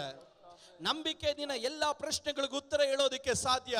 ಇವತ್ತು ಹಣವನ್ನು ನೋಡಲ್ಲ, ಜೀವನ ಮಾಡೋದು. ಕ್ರಿಸ್ತನನ್ನು ನೋಡಿ ನಾವು ಜೀವನ ಮಾಡಬೇಕು. ಇವತ್ತು ಯೌವನಸ್ಥರ ಒಳಗಡೆ ಆ ನಂಬಿಕೆ ಎನ್ನುವಂಥದ್ದು ಬೆಂಕಿ ಹಾಗೆ ಕುದಿಬೇಕು. ನಂಬಿಕೆ ಅನ್ನೋದು ಒಂದು ಬೆಂಕಿಯ ಹಾಗೆ, ಒಂದು ಕಿಚ್ಚಿನ ಹಾಗೆ. ಎಲ್ಲ ನಡೆಯೋದು ಒಳ್ಳೆಯದಕ್ಕೆ. ಇದರಿಂದ ದೇವರೇನೋ ಮಾಡ್ತಾನೆ. ದೇವರು ದೊಡ್ಡ ಕಾರ್ಯ ಮಾಡ್ತಾನೆ. ನನ್ನನ್ನು ಸಾಧಾರಣವಾದ ವಿಷಯಕ್ಕಾಗಿ ಕರೀಲಿಲ್ಲ ಮೈಮ್ಯಾದ ವಿಷಯಕ್ಕಾಗಿ ದೇವರು ಕರೆದಿದ್ದಾನೆ ಅಂತ ನಂಬಿಕೆ ಅನ್ನೋದು ನಿನ್ನ ಒಳಗಡೆ ಹುಟ್ಟಲಿಕ್ಕಾಗಿ ಪ್ರಾರಂಭ ಮಾಡಿದ್ರೆ ನಾನು ಒಂದು ಕಾರ್ಯ ಹೇಳ್ತೇನೆ, ನೀನು ನಿನಗೆ ಮಾತ್ರ ಆಶೀರ್ವಾದವಾಗಿರೋದಿಲ್ಲ. ಸಭೆಗೆ ಬರುವಂತ ಅನೇಕ ಯವನಸ್ಥರುಗಳಿಗೆ ನೀನೊಂದು ಆಶೀರ್ವಾದವಾಗಿರ್ತೀಯ. ಅನೇಕರಿಗೆ ನೀನು ಉಪದೇಶ ಮಾಡೋನಾಗಿರ್ತಿ. ಪರಿಶುದ್ಧತೆ. ಪರಿಶುದ್ಧತೆ ಕುರಿತಾಗಿ ಅನೇಕ ಕಾರ್ಯಗಳನ್ನು ನಾನು ಹೇಳಿದೆ. ದೇವರು ಹೇಳೋದನ್ನು ಪರಿಶುದ್ಧತೆ ಇಲ್ಲದೆ ಯಾರು ದೇವ್ರನ್ನ ಕಾಣಕ್ಕಾಗಲ್ಲ. ಯವನಸ್ಥರು ನಾವಿಲ್ಲಿ ಬರೋದು ದೇವ್ರನ್ನ ಕಾಣೋದಕ್ಕೆ. ಗಟ್ಟಿಯಾಗಿ ಹೇಳ್ರಿ, ಯಾರನ್ನ ಕಾಣೋದಕ್ಕೆ? ಇನ್ನೊಂದ್ಸರಿ ಗಟ್ಟಿಯಾಗಿ ಹೇಳ್ರಿ, ಯಾರನ್ನ ಕಾಣೋದಕ್ಕೆ? ನಾವು ಸಭೆಗೆ ಬರೋದು ಯಾವುದೋ ಒಂದು ವ್ಯಕ್ತಿಯನ್ನು ನೋಡೋದಕ್ಕಲ್ಲ, ನಾವು ಸಭೆಗೆ ಬರೋದು ಯಾರನ್ನೋ ನೋಡೋದಕ್ಕಲ್ಲ, ನಾವು ಸಭೆಗೆ ಬರೋದು ಯೇಸುವನ್ನು ನೋಡೋದಕ್ಕೆ. ನಾವು ಸಭೆಗೆ ಬರೋದು ದೇವರನ್ನ ನೋಡೋದಕ್ಕೆ. ದೇವರು ನಮಗೆ ಕಾಣಬೇಕಾ? ನಾವು ಪರಿಶುದ್ಧರಾಗಿರಬೇಕು ಎಂದು ದೇವರ ವಾಕ್ಯದಲ್ಲಿ ನಾವು ಗಮನಿಸುವವರಾಗಿದ್ದೇವೆ. ನಾನು ಅದರ ಕಾರ್ಯಗಳನ್ನು ನಾನು ಮುಂದುವರಿಸೋದಿಲ್ಲ. ಅನೇಕ ಸಂಗತಿಗಳಿದೆ. ಹೇಳಿದೆಲ್ಲ ಅರ್ಥ ಆಯ್ತಾ? ಹೇಳಿದೆಲ್ಲ ಅರ್ಥ ಆಯ್ತಾ? ಇವತ್ತು ಅನೇಕರು ಇದರಲ್ಲಿ ತಪ್ತಾ ಇದ್ದಾರೆ, ಅರ್ಥ ಮಾಡಿಕೊಳ್ಳದಂತೆ. ಏನಕ್ಕೆ ನಾನು ಇದನ್ನು ಹೇಳಿದೆ ಅಂದರೆ ಸ್ವಲ್ಪ ಜನರಾಗಿದ್ದು, ಇವತ್ತು ನಾವಿದ್ರೂ ಸಹ ನಮ್ಮನ್ನು ಲೈವಲ್ಲಿ ವೀಕ್ಷಿಸುವ ಅನೇಕ ಯವನಸ್ತ್ರಗಳಿದ್ದಾರೆ. ಅವ್ರಿಗೂ ಸಹ ಇದನ್ನು ಅರ್ಥ ಆಗಲಿ. ಇವತ್ತು ನಾನು ಒಂದು ಕಾರ್ಯ ಹೇಳಲಿಕ್ಕಾಗಿ ಇಷ್ಟಪಡ್ತೇನೆ. ಇಲ್ಲೆಲ್ಲಾದರೂ ನಾವು ತಪ್ಪಿದ್ರೆ ಮನ ತಿರುಗಿ ಬರಬೇಕು. ಆ ಮನ ತಿರುಗಿ ಪ್ರಾರ್ಥನೆಯಲ್ಲಾಗಿದ್ದು ಒಂದು ತೀರ್ಮಾನದೊಂದಿಗೆ ಸ್ವಾಮಿಲಿ ಹಿಂತಿರುಗುವಾಗ, ಹೌದು ಸ್ವಾಮಿ, ತಮ್ಮ ನಡೆ, ನುಡಿ, ಶುದ್ಧತ್ವ, ನಂಬಿಕೆ, ಪ್ರೀತಿ ಇವುಗಳಲ್ಲಿ ಕರ್ತನೆ, ತಮ್ಮನ್ನೇ ತಾವು ಸಾಕ್ಷೀಕರಿಸಿಕೊಂಡು ಕರ್ತನೆ, ನೀನು ಕರೆದಿರುವ ಉದ್ದೇಶ, ನೀನು ಆಯ್ಕೆ ಮಾಡಿಕೊಂಡಿರುವ ಉದ್ದೇಶ, ನೇಮಿಸಲ್ಪಟ್ಟಿರ್ತಕ್ಕಂಥ ಉದ್ದೇಶದ ಪ್ರಕಾರ ನಿನ್ನ ಹೆಸರನ್ನ ಪ್ರಖ್ಯಾತಿಗೆ ತಿರುವೆನು, ನಿನ್ನನ್ನು ಅರಸುವವರನ್ನ ಅರಸುವೆನು ನಿನ್ನ ಶಪಿಸುವವರನ್ನ ಶಪಿಸುವೆನು ನಿನ್ನ ಭೂಲೋಕದ ಕಟ್ಟಕಡೆಯವರು ಅನೇಕರಿಗೆ ಆಶೀರ್ವಾದವಾಗಿರುವೆಂದು ವಾಗ್ದಾನ ಮಾಡಿದ ಪ್ರಕಾರ ಇವರೆಲ್ಲರೂ ಸ್ವಾಮಿ, ಹಳ್ಳಿ, ತಾಲೂಕು, ಜಿಲ್ಲೆ, ರಾಜ್ಯ, ದೇಶ, ವಿದೇಶಗಳಲ್ಲಿ ಕರ್ತನೆ ಅಭಿಷಕ್ತರಾಗಿ ಬೆಳೆದು ಬರತಕ್ಕಂತೆ. ಕೃಪಾ ವರಗಳಿಂದ ಸ್ವಾಮಿ ಕರ್ತನೆ ತುಂಬಲ್ಪಟ್ಟವರಾಗಿ, ನಿನ್ನ ಪ್ರಸನ್ನತೆಯಲ್ಲಿ ತುಂಬಲ್ಪಟ್ಟವರಾಗಿ, ರಾಜ್ಯಕ್ಕಾಗಿ, ನೀತಿಗಾಗಿ ತವಕ ಪಡುತ್ತಾ ನಿನ್ನ ದರ್ಶನ, ನಿನ್ನ ಉದ್ದೇಶ, ನಿನ್ನ ವಾಗ್ದಾನಗಳನ್ನು ದೇವ ನೆರವೇರಿಸುವುದಕ್ಕಾಗಿ ಅನುಗ್ರಹಿಸಬೇಕೆಂದು ಪ್ರಾರ್ಥಿಸುತ್ತೇನೆ ಕರ್ತನೆ. ಇವತ್ತಿನ ದಿನ ಸ್ವಾಮಿ ವ್ಯರ್ಥವಾಗದಂತೆ ಕರ್ತನೆ. ಈಗೋ ಸ್ವಾಮಿ, ಜನರು ಬಂದು ಕರ್ತನೆ, ಯೌವನಸ್ಥರು ಬಂದು ಸ್ವಾಮಿ, ಬೇರ್ಪಟ್ಟ ಸ್ವಾಮಿ, ನಿನ್ನ ಬಳಿಯಲ್ಲಿ ಪ್ರಾರ್ಥನೆಯಲ್ಲಿ ಆಗಿದ್ರು ಕರ್ತನೆ. ಇವತ್ತಿನ ದಿನ ವ್ಯರ್ಥವಾಗಲಿಲ್ಲ ಸ್ವಾಮಿ. ಇದು ನೀನು ಕಂಡಿದ್ಯಾ ಸ್ವಾಮಿ? ಇದನ್ನು ಕೇಳಿದ್ಯಾ ಕರ್ತನೆ? ನಿನ್ನ ಜನರ ಸಾಕ್ಷಿಗರಿಸುತ್ತೀಯಾ ಕರ್ತನೆ? ಹಾಗೆ ಮಾಡಿದ್ದಕ್ಕಾಗಿ ಸ್ತೋತ್ರ, ಕೃಪೆ ಕೊಟ್ಟಿದ್ದಕ್ಕಾಗಿ ಸ್ತೋತ್ರ. ಯೇಸು ಕ್ರಿಸ್ತನ ನಾಮದಲ್ಲಿ ತಂದೆಯೇ, ಆಮೇನ್.